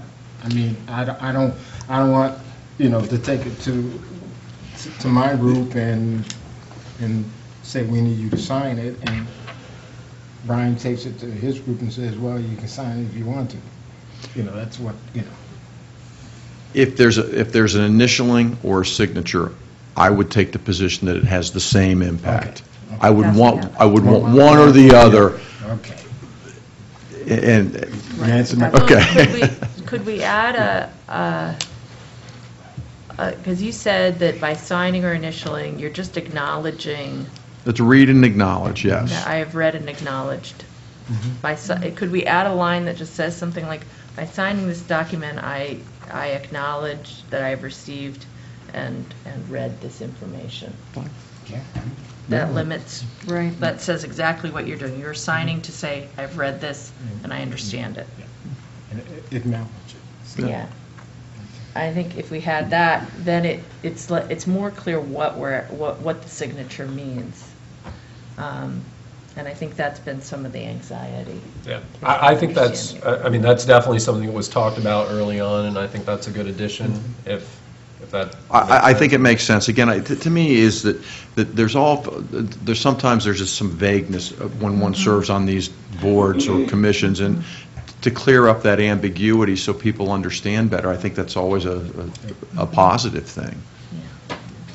So by signing, I acknowledge that I have read and understand my roles and responsibilities I as a... just, I read and understand this document. Read, read, to be read and acknowledged, and then have it be underneath the signature line.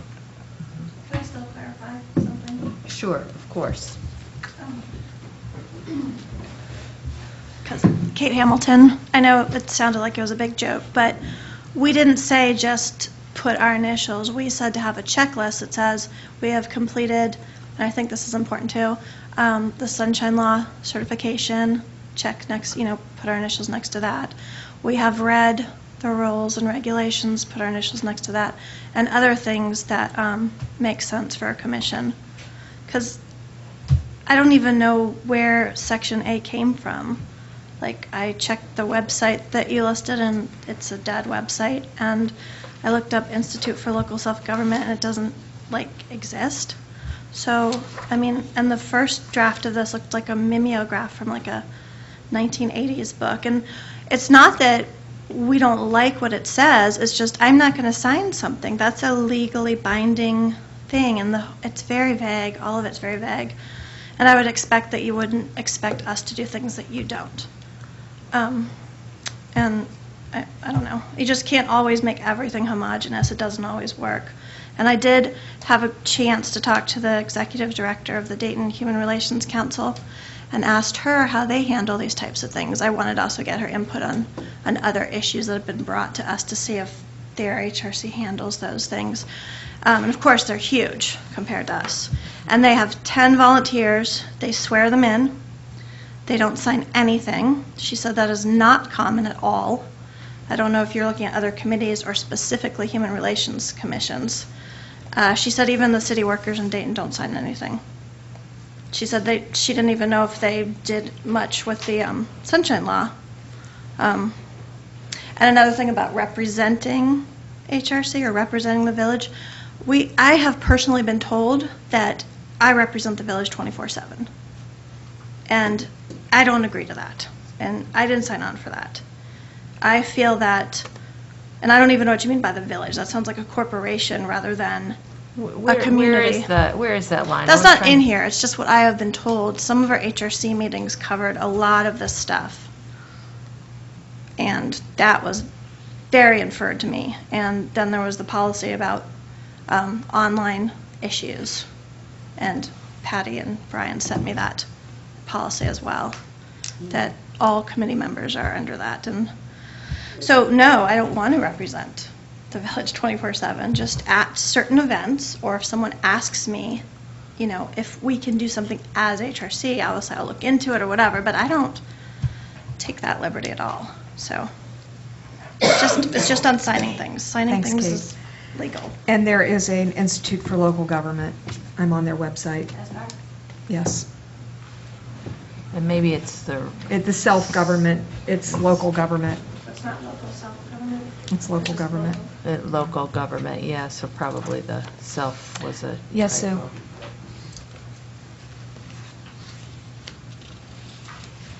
I'm Sue Abendroth, and I have a question about the fiduciary liability of commission members. Do they suffer any uh, liability for their service as a commissioner? Can they be sued as individuals, or if they misbehave, is the village available to be sued? And issues like that, I've not seen any reference to that kind of concern, but I know council has legal representation if they need it. Do the uh, commission members have the same representation available to them, or do they not? That's what I want to know. Okay, When Chris gets back, I'm, I'm, oh. My God, you couldn't see, you couldn't see it. Uh, You're in the That's blind actually what spot. Kate was Um, referring to, so. The, the answer is, I- one, I, I- I I asked, posed this question to council. I'm unaware of any committee member being sued. Frankly, it would be more likely in the context of the BZA or the Planning Commission because they actually have quasi-judicial power. Um, And Patty, you raised your hand. Yeah, Actually, that's what Kate was referring to. We checked with the um, liability insurance company, and they said that if a commission member were sued and named as a commission member for the village, that the village would have um, the responsibility to defend them.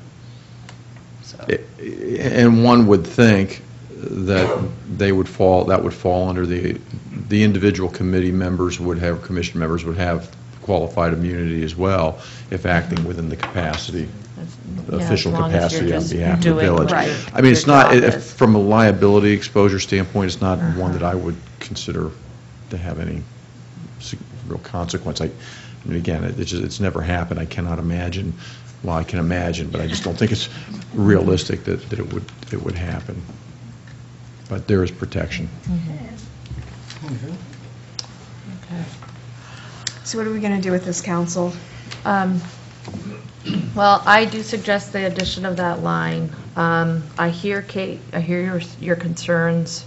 Um, I think if we make it clear that what you're doing is you're signing, acknowledging that you received this, the, su- you- the submission of the certificate of completion is what indicates that you've done everything else.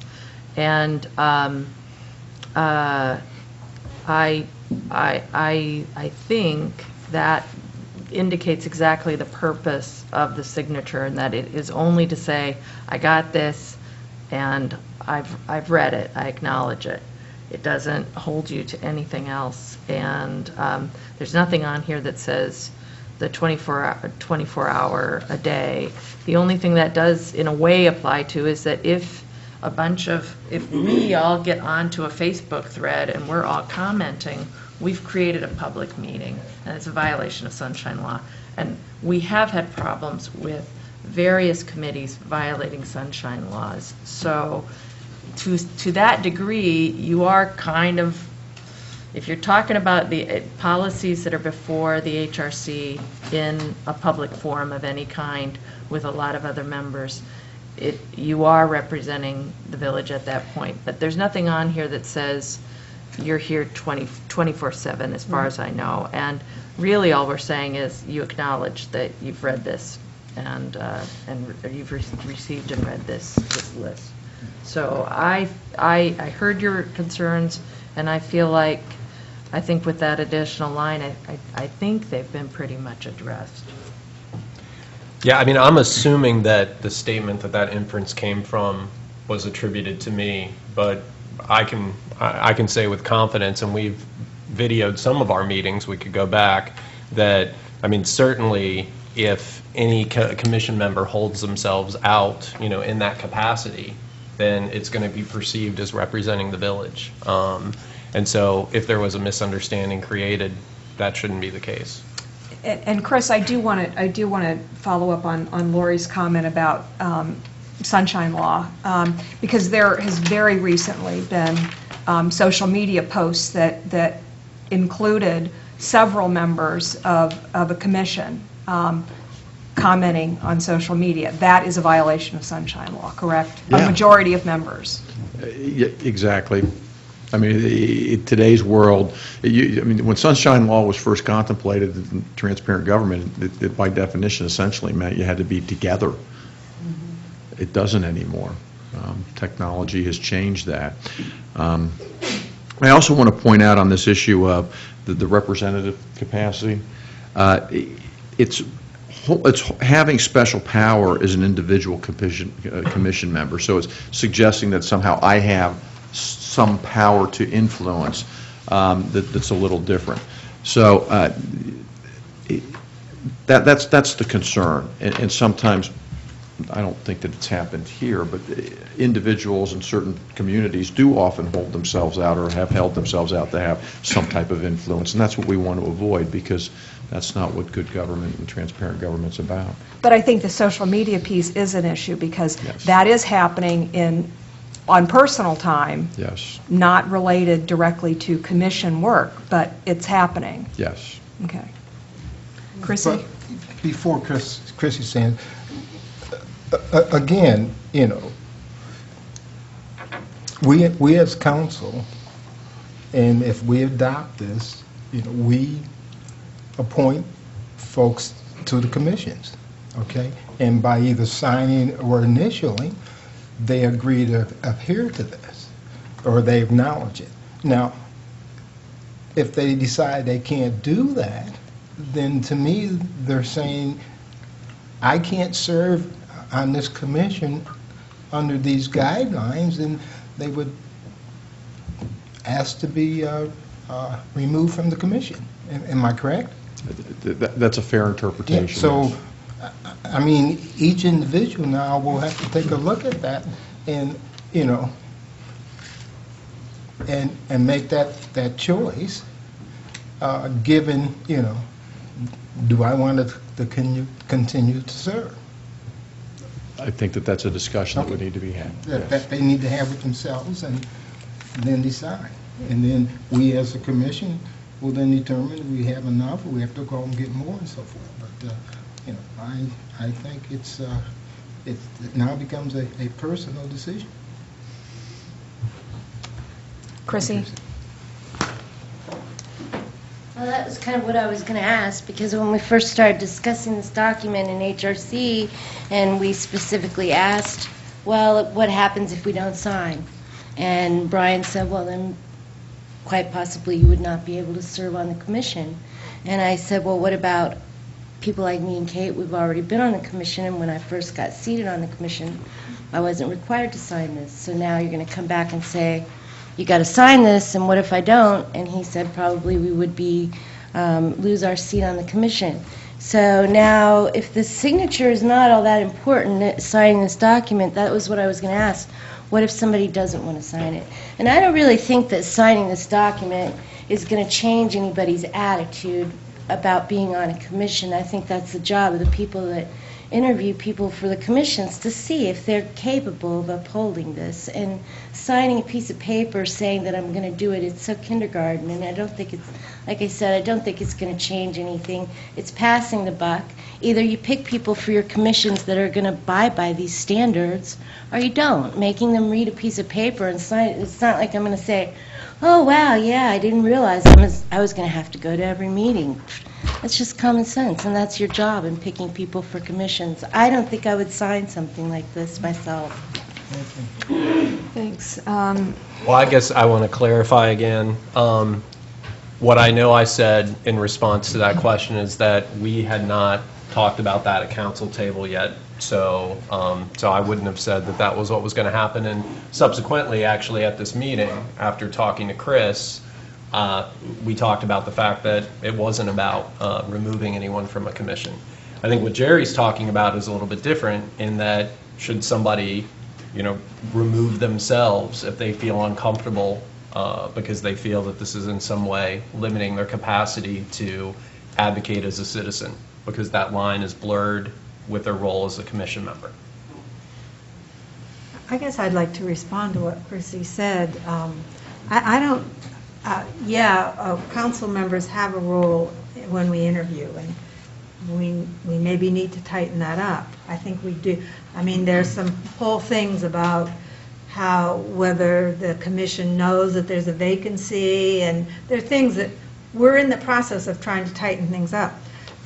But I don't think this is kindergarten really. This is, this means that if I'm going to be on a commission, I'm going to read it. Not everyone has that, not everyone necessarily comes to, not everyone necessarily just automatically makes a commitment, for example, to come to a meeting. And this, this means that people who are going to be on a commission read this and go, okay, yeah, yay or nay, or, oh, I have questions about it, but I, I think it, we're trying to get, just sort of like this thing, the loopholes that, that we're finding were in the uh, utility thing, that we're trying to standardize. This is part of that, I think. So are we ready to bring this, uh, I I guess would this need to be passed as, uh, we'll take Paul and, and, thanks, Jessica. Paul Abendroth, very quickly. I think this document describes the expectations that council and the citizens have of people that serve on boards and commissions. And you can approach it either of two ways. Have the members swear to do it, or the council members representing that committee can remove people who don't meet those standards. And I think that's your job if you don't have a commitment by the person. It's your job to make sure that the- the members of those boards and commissions uh, uphold those standards. Thank you. Thanks, Paul. Jessica? And, um, State Je- your name, please. Jessica Thomas. Um, When I was reading through this document and like listening to some of the conversation back and forth, what really concerns me about it is that usually, like, I, I sign a contract for teaching. I'm a teacher. And with my contract, there's, there's my roles and responsibility, but there's also a list of consequences if I don't meet those things. These consequences are not clarified in this document, and if there is any progressive discipline, it needs to be stated ahead of time so that it's not, oh, well, this commission is doing this, this commission is doing that, whatever. If it's going to be a standard document across all the commissions and you're going to adopt it for new commission members, um, I know that it had been mentioned at an HRC meeting about members that are currently serving being grandfathered in, lots of questions about that, but you need to outline all, everything before you have people even initialing it, because looking at it as is, I know that I wouldn't be able to follow all of those things. I know that I've seen council members at the Gulch, things like that, and where it's. Where does it say that council members? Well, no, no, no, I'm Can't saying. go to the Gulch? No, I'm saying, like, when we're talking about violating sunshine laws, if you have, you mentioned Facebook, I know that I've seen council members out at places in groups of three or more. That's all I'm saying, is that it's, it's very easy to violate these things. And if we are going to have a document that outlines rules and regulations, we need to make sure that we have consequences ahead of time so that there is no vagueness in it. Thank you. I want to clarify Chris. something. The- The sunshine rule violation isn't isn't the gathering of three or more people of the body. It's the discussion of public business. So you can go wherever you want. You can be on Facebook. You just can't be on Facebook with three other members or however HRC members talking about HRC matters. That's what makes it a sunshine law violation. So I just want to clear up that Thanks. misunderstanding. Yeah. So. And as I What said, this is not like a, a contract, especially with the added line, it's not a contract that you're signing for your work and for your livelihood. It is, I have read and I understand the, the expectations of, of, of what I've just, what I've just taken on. That's all. I've read it, I understand it. That's all you're saying. Um, Obviously, you know, if people are egregiously violating these things, then yes, they, we, they, you serve at the pleasure of council. We can, we can tell people to leave anytime we want with a majority vote. Patty, we can tell, we can fire Patty with a majority vote, right? Anytime, because she serves at the pleasure of council. That's, that's all that, that's, that's already there. That, this isn't, that isn't even a part of this. All this says is, I, I, somebody has actually given in writing what the basic expectations are. I've read it, I've seen it. That's all you're, that's all you're saying with your signature. If it said, I've read it and I've seen this, that's not what it says. That's the, s- the line that I just said uh, needed to Okay, be let's- added. Well, well, let's, let's summarize. Let's, we'll summarize. What would you two like to see? I, do, you- do we want to package these two issues, or do we want to bring this back? Does this need to be passed with legislation, Chris?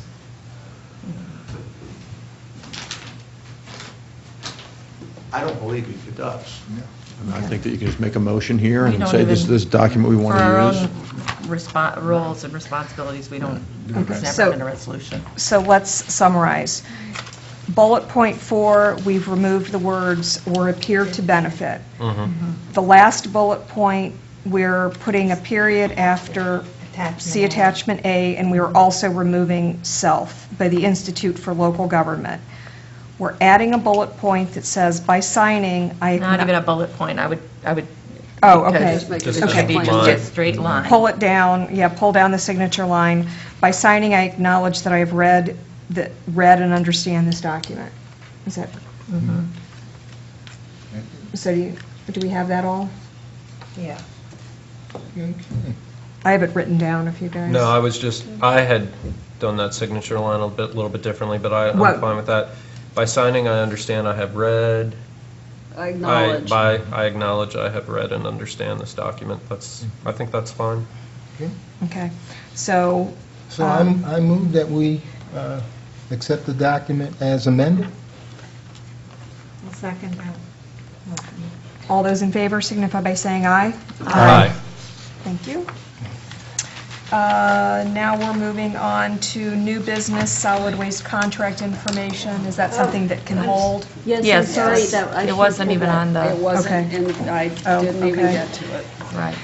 Um, Can we do quick manager and assistant manager and clerk reports? I'm going to skip over the things we've already covered. Um, There were some, uh, I want to give two shouts out to some of the crews. Um, As you saw in your packet, there's some pictures from the uh, stormwater line that Jason's crew, um, streets crew put in on Davis Street, uh, which is what we had the thank you note for, and that was a great job. And also to Johnny's crew for being out for two hours in the rain last night and getting the power back on for everybody. It was an interesting time. Um, Joe continues to work on the CCR, and that will be in, um, go out with the June bills. The soil borings are complete, and we're moving forward with the uh, 30% design on the water plant. John Courtney will be here next week. Um, We've already talked about the cable access station manager and the Beaver Flow uh, device. Um, We need to talk about the skate park steps. Um, There was a brief in your packets about it, um, and the reasons for putting them back in, um, and it is a recommendation of the uh, staff that they do go back in, so I'd like to know how council, Yes. Marianne's got Yes. thumbs up. Yes. I'm- Yes. Yes. All right, we'll Very put big those- thumbs up. Um, I can, I I would love that whole hillside to be addressed, but I won't. Uh, Sorry. Yeah, unfortunately, there are Step one. big stumps and rocks in I there, but know. we're thinking about hiring the goats to come in and eat the vegetation off it, uh, seriously. No, goats are great for that. Goats are great. So, um, don't forget that uh, Home Inc. is working on cleaning up C Street a little bit, and they are having an open house up there May 1st from 5:30 to 7:30. Durst Brothers will be up there, hopefully getting that part done um, as soon as uh, the weather allows them. They should be starting on the new library roof very soon. Uh, Pool passes are getting ready to go on sale. The one thing that I would like to um, point out, um, in the past, there's been a general, um, a general, I'm going to say policy, for lack of a better word, um, where if someone shows up at the pool and they don't have their pool pass, and they say, but you know, I have one, um, they've been allowed to go into the pool without paying the, the daily fee, um, which is all fine and good, except for the Dayton Pool Management doesn't know our residents, and there've been several instances of them letting people in who were not residents and didn't have pool passes. So we are going to be enforcing that this year, and it is important that uh, folks understand that if you are coming to the pool, please bring your pool pass, please. It's going to be the little ones that get pinned on your swimsuits, uh, and so it will not be uh, a big horrible deal to pin that on. Um, I would like to note that the Montessori School is having a bike-a-thon on May 8th. Uh, It's a fundraiser for St. Jude's, not for the Montessori School, so um, if you would like to sponsor somebody, uh, please look into that. I think Malachi might be uh, writing. So, yeah. Um, And two things on a personal note, as of 5:30 today, I only own one house. Oh. Yes. And uh, actually, one and a half, because we still have Mike's mom's house, but we have a contract on it. Um, And the last thing is, I uh, have committed to doing the Susan G. Komen three-day uh, for Cure again this year um, in November in San Diego. I will be training. Um, My schedule is a little bit up and down, um, so if I'm out walking at odd times of the day, um, I will work it around my schedule as best as I can. And Brian has agreed to be my primary fundraiser. Um, I am hoping to raise the most money of anybody in that walk, because then I get a bigger tent. So So, the pressure's on. the pressure's on, so. A bigger um, tent, yeah. Yes. And that's all I have.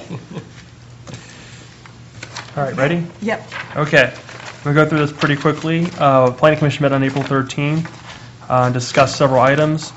Uh, 104 Xenia Avenue, where Peaches is at, was, uh, Planning Commission uh, voted to recommend uh, approval to the Village Council for that from uh, C Conservation to uh, B1 Central Business. With Gateway Overlay, uh, that ordinance will be presented at our next council meeting in May. Uh, They also heard two requests from Antioch College to re- to vacate street right-of-ways. Uh, One, uh, East Herman Street was tabled by the commission, uh, and they have asked staff for more information regarding the uh, utility easements, runoff requirements from the EPA, and uh, expansion of the cul-de-sac and Herman for fire trucks. Uh, However, they did approve the East-North College um, right-of-way vacation with conditions, uh, which we're working on with our, our uh, the village solicitor's department, uh, and drafting the, um, the documentation for that, and also the agreement with Antioch College on maintaining uh, the easement and some of those finer details. So that will be uh, brought to you guys in May as well. Um, Permit fees, we already went over that, and a minor subdivision was approved uh, for 1126 Livermore. So that was Planning Commission. Uh, fellows are coming in May 2nd. Uh, We are working, uh, we're finalizing some housing situation with them, which is, which is a a good step forward here. And then we're also finalizing the calendar this week and uh, getting the tour set up. And uh, Councilmember Housh and Kaba and I met this morning to talk about how they're coming, uh, what our expectations are, and uh, preparing for their arrival. So that's, that's happening. And then finally.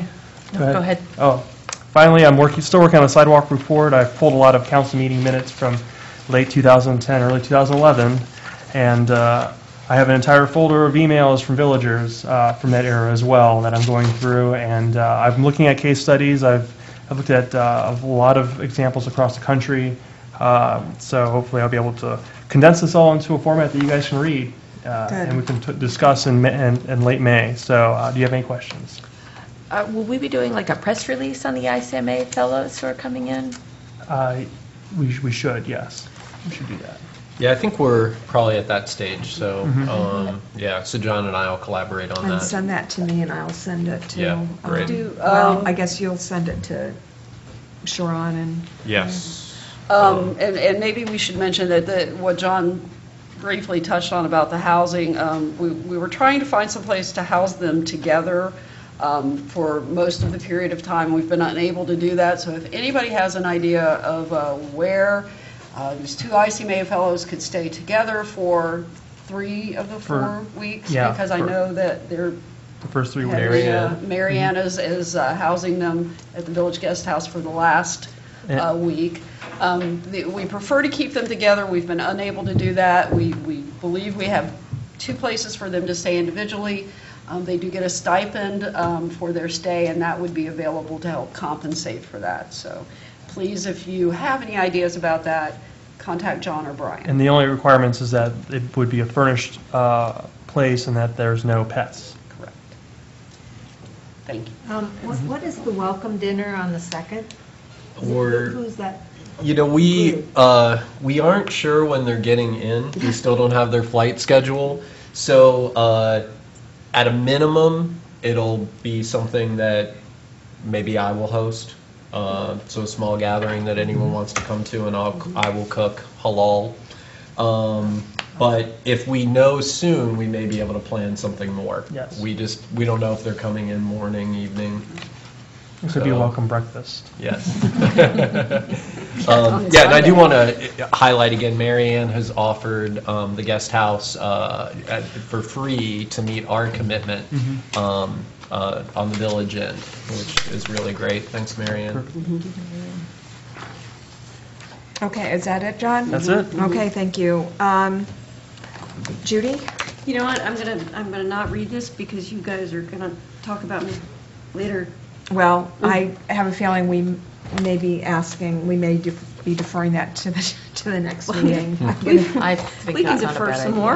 Yeah, It's not an sorry. We'll take care of you, It's don't no problem. I mean, it's just goals and they're out there. And they're, th- And and they they're look great. excellent. Great, excellent. Um, Okay, let's, can we go through standing reports quickly? Yeah, I didn't go to either of mine, so. That was quick. I I think Planning Commission, we've already John already covered. talked about planning commission. Uh, Melissa talked about finance, uh, mediation is is continuing on. Um, Patty and I, uh, and we won't take the time tonight, but we need to discuss uh, the library. Uh, There there are more repairs that, that need to be made, need to be made, a request to be made, so we, we, we need to, uh, uh, I'm gonna meet with Patty first, and, and then we'll bring it to council as to uh, what we see the future of, of that building. Uh, And then on, on community resources, uh, they have uh, requested that all ex officio members not come to the next couple of meetings, not sure what the reasoning and so forth is, but uh, uh, they have asked that, that we not attend the next couple of meetings. So uh, just give you a heads up on that. Uh, I asked for some more clarification, and if I get it, I'll pass it on. If not, then to me, council acts accordingly as it relates to community resources. Brian? Okay. Uh, Charter Review Committee, uh, all, the only update is we are on schedule to present uh, at our June 1st meeting and uh, have those amendments ready with a report, so that's going great. Um, Our village solicitors have been very actively involved and helpful. Uh, Regarding HRC, uh, I I should mention that at our last meeting, I announced that I will be passing the torch as council liaison. Mary taking that over. Um, Primary reasons are, two of my, my other two commissions currently have council goals that keep me very busy, and I plan to spend the next two and a half years focusing on our economic development initiatives. So I needed to think about time. Um, But uh, I did want to mention that the HRC has agreed to form a welcoming committee to help with our international fellows, which I think is great. Um, And in terms of the Public Art Commission, the motorcycle noise signage uh, document is in our packets, uh, basically to see if we agree with this kind of messaging and are willing for Patty to take it forward to explore signing, signage options, what the costs might look like and that sort of thing. Um, So, So we're suggest, but these signs are going on private property, so the village is going to so, so it's. have it's- signs made for private Yeah, so it's, it's voluntary, uh, so we, we have said, or I guess part of the suggestion has been that the village would create the signs, we'd look at, you know, what's most cost-effective, and then uh, we have one of the venues that has agreed to post a sign. Chris, is there any issue with that? With us creating signs that would go on private property that aren't, um, Well, they agree to it. I mean, we're not forcing. to ask, to ask motorcyclists to not throttle, to keep, to throttle down when they go through town, and to not rev up when they take off? I think in the context of public service announcements, I don't think there's an issue. Okay, Okay, thanks. Brian, did you get an email about that today from a person whose name doesn't want to be said but rides a motorcycle? No. Okay. Um, This person contacted me and was concerned that um, it may actually increase the throttling um, because there is actually a campaign um, that, to put loud pipes on your bike because it's a safety thing, because more people hear you coming. And they were concerned that that might be, they, they were going to send you an email today, and I'll, Mhm. I'll check and see why they didn't. But um, the concern was that it may actually encourage people to rev more. I mean, I know that it's been a discussion at PAC for a while. Right. but- I I mean, to me, the issue is that those, the, the people that are going to read those signs are stopping and, and going to our bus, those businesses, and I think that's different than people just riding through town.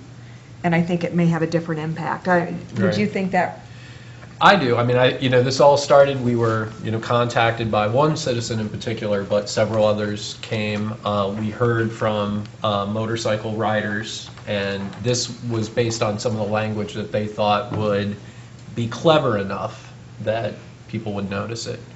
Um, I I guess I I agree that it's, it's worth trying, and especially if, you know, Peaches in particular has said, we are happy to post a sign. Um, okay, That, that says something to me. okay. Thanks, Brian. Marianne. So I've submitted a written report for my three commissions. So, um, and I uh, want to know whether um, any council member has any questions, concerns, et cetera, about the, well, the goals that, or the actions that, that- that the commissions are doing. No, I would, I would, Energy Commission, the Energy Board and the Environmental Commission. no. Yeah, I think it looks That was great. really nice of you to Yeah. write it all out like that. Um, And the dashboard project, um, Rick Walkie had a meeting with Antioch College today, but I'd hoped to be able to give a little more information about that. Uh, Has that been talked about at council at all? I don't remember it. So just briefly, um, Oberlin uh, ha- has done this. You, there are these screens that, um, like I think they have in their school and their college and downtown, that shows in real time the electric use for their village, the water use, I think there's some other things. So it's a, it's, it's sort of getting to what Karen, you were talking about, I think, in terms of having people go, oh my word, we're using all. And, and, and then schools can, or uh, different neighborhoods or whatever, could sort of vie against each other, like, Okay. can we reduce our energy? So that's what the day. Sounds good, bring it to meeting. Yeah. And um, the last thing I have about the drug task force discussion, I mean, it's like quarter to 11, so I don't. Can we call it the ACE Task Force, which is the Yes, proper name for yes. it? But I'm very interested in having a really good discussion that doesn't get into just yay or nay. And if there's another council member that would like to talk with me about uh, coming back with a proposal, I'd be happy to do that. I'm happy to work on it. Okay, well, Of we course. do that on our budget. Yeah.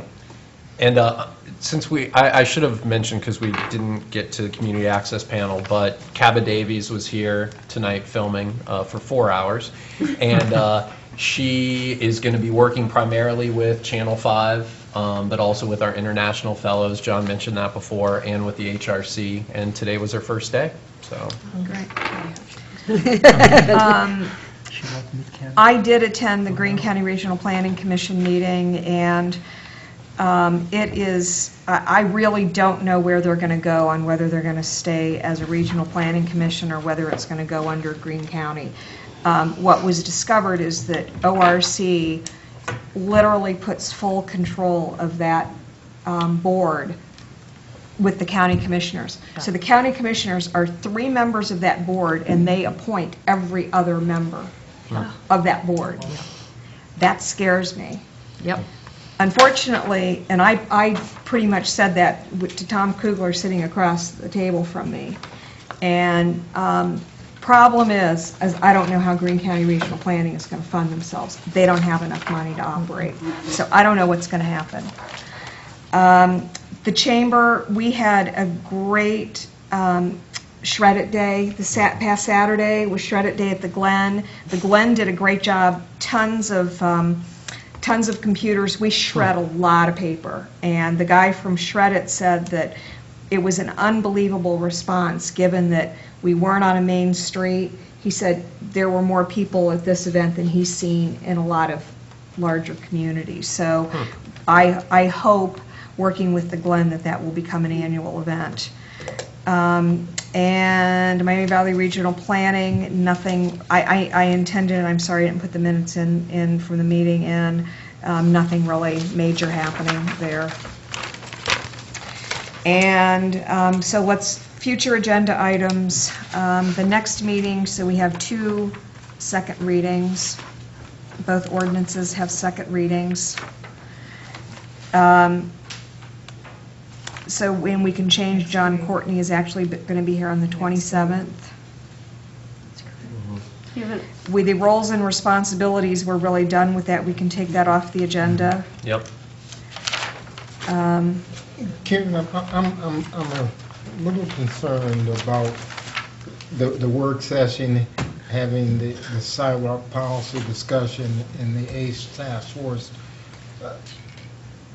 Oh, yeah. Because I'm, Well- I'm looking at time now, and, Oh, I know. you know, mm-hmm. I- I- if, if, if it's possible, I- I- could we only have one e- either one or the I- other. I don't- Because I, I, you know. w- I agree. So Well, who's, it- it's which, just too which long. one, you know, which, so, uh-huh. John, I mean, I guess John's working on one, Marianne, I think we're telling you to go ahead and work on this other, so what, And which this one is- of you wants more time? This time? isn't the discussion, though, of course, it's just coming back with a proposal for how to. have That's true. discussion. Okay, so if, if, if all we're gonna do is bring us a plan. So, but, so you will, at that meeting, you will bring the plan for how, okay, so that's, Okay, let's do okay, that, okay, okay. yeah. 'Cause So, Right, so you're still on If it's board, just- you're if still it's on just for, a yes. plan We today, just need to make I that- would Thank you fine. for And we'll just need to make that Yeah, 'cause, clear to Yeah. the people in the audience, because it's really easy to read that I- and think, 'cause I- I'd like have people come only- loaded for bear to talk about it and say, no, Right. we're really Right. just I talking missed that about what we're talking entirely. So what's happening with Marianne there? She She's is just simply bringing a bringing a proposal, Proposed plan a a for proposal for how to have a the, more how to in-depth frame the discussion. discussion and when. She's got it, we're good. And then you've got the ordinance for your supplemental, for your remote readers? Um, she'll just put it as part of the supplemental appropriations. That may- Okay, so That may that's not not be, coming separately, yeah. okay. There's also um, the rezoning for 104 Xenia. and then, uh, Yeah. Ordinance- Did you get those that are ordinance for ordinances, rezoning? Tell you that while I was thinking. There's an ordinance for rezoning, and there's also uh, a possible ordinance for that street vacation Okay. and agreements.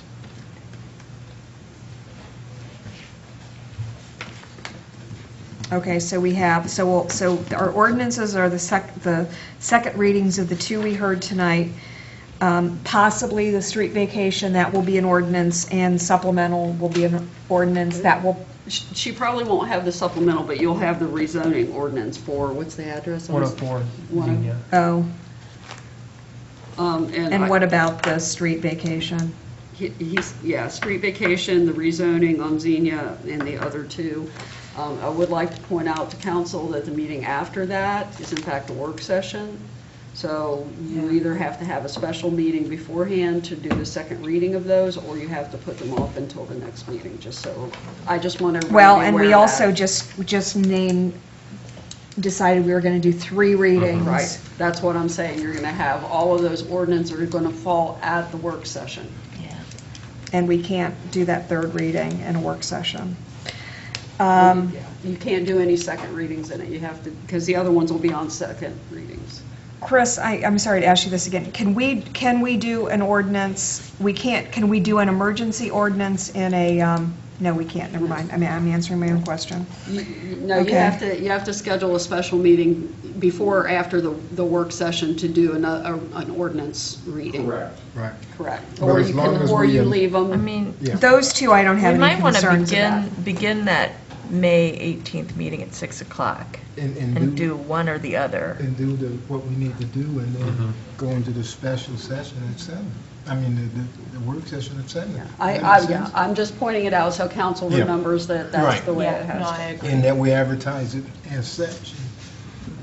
Yeah, don't push it out if we don't have to. Is there any chance that you two could potentially be ready for um, a proposal on the task force by the next meeting, on just how we're going to approach by the 4th? Yeah.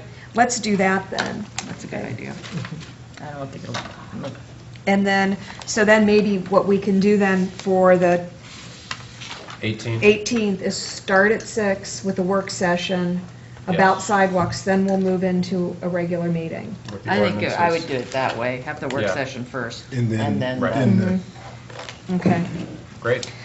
Um, And then the other thing, I did add, um, one other thing, we did put, that- so on June, the first meeting in June, we'll have a charter review presentation. Yes.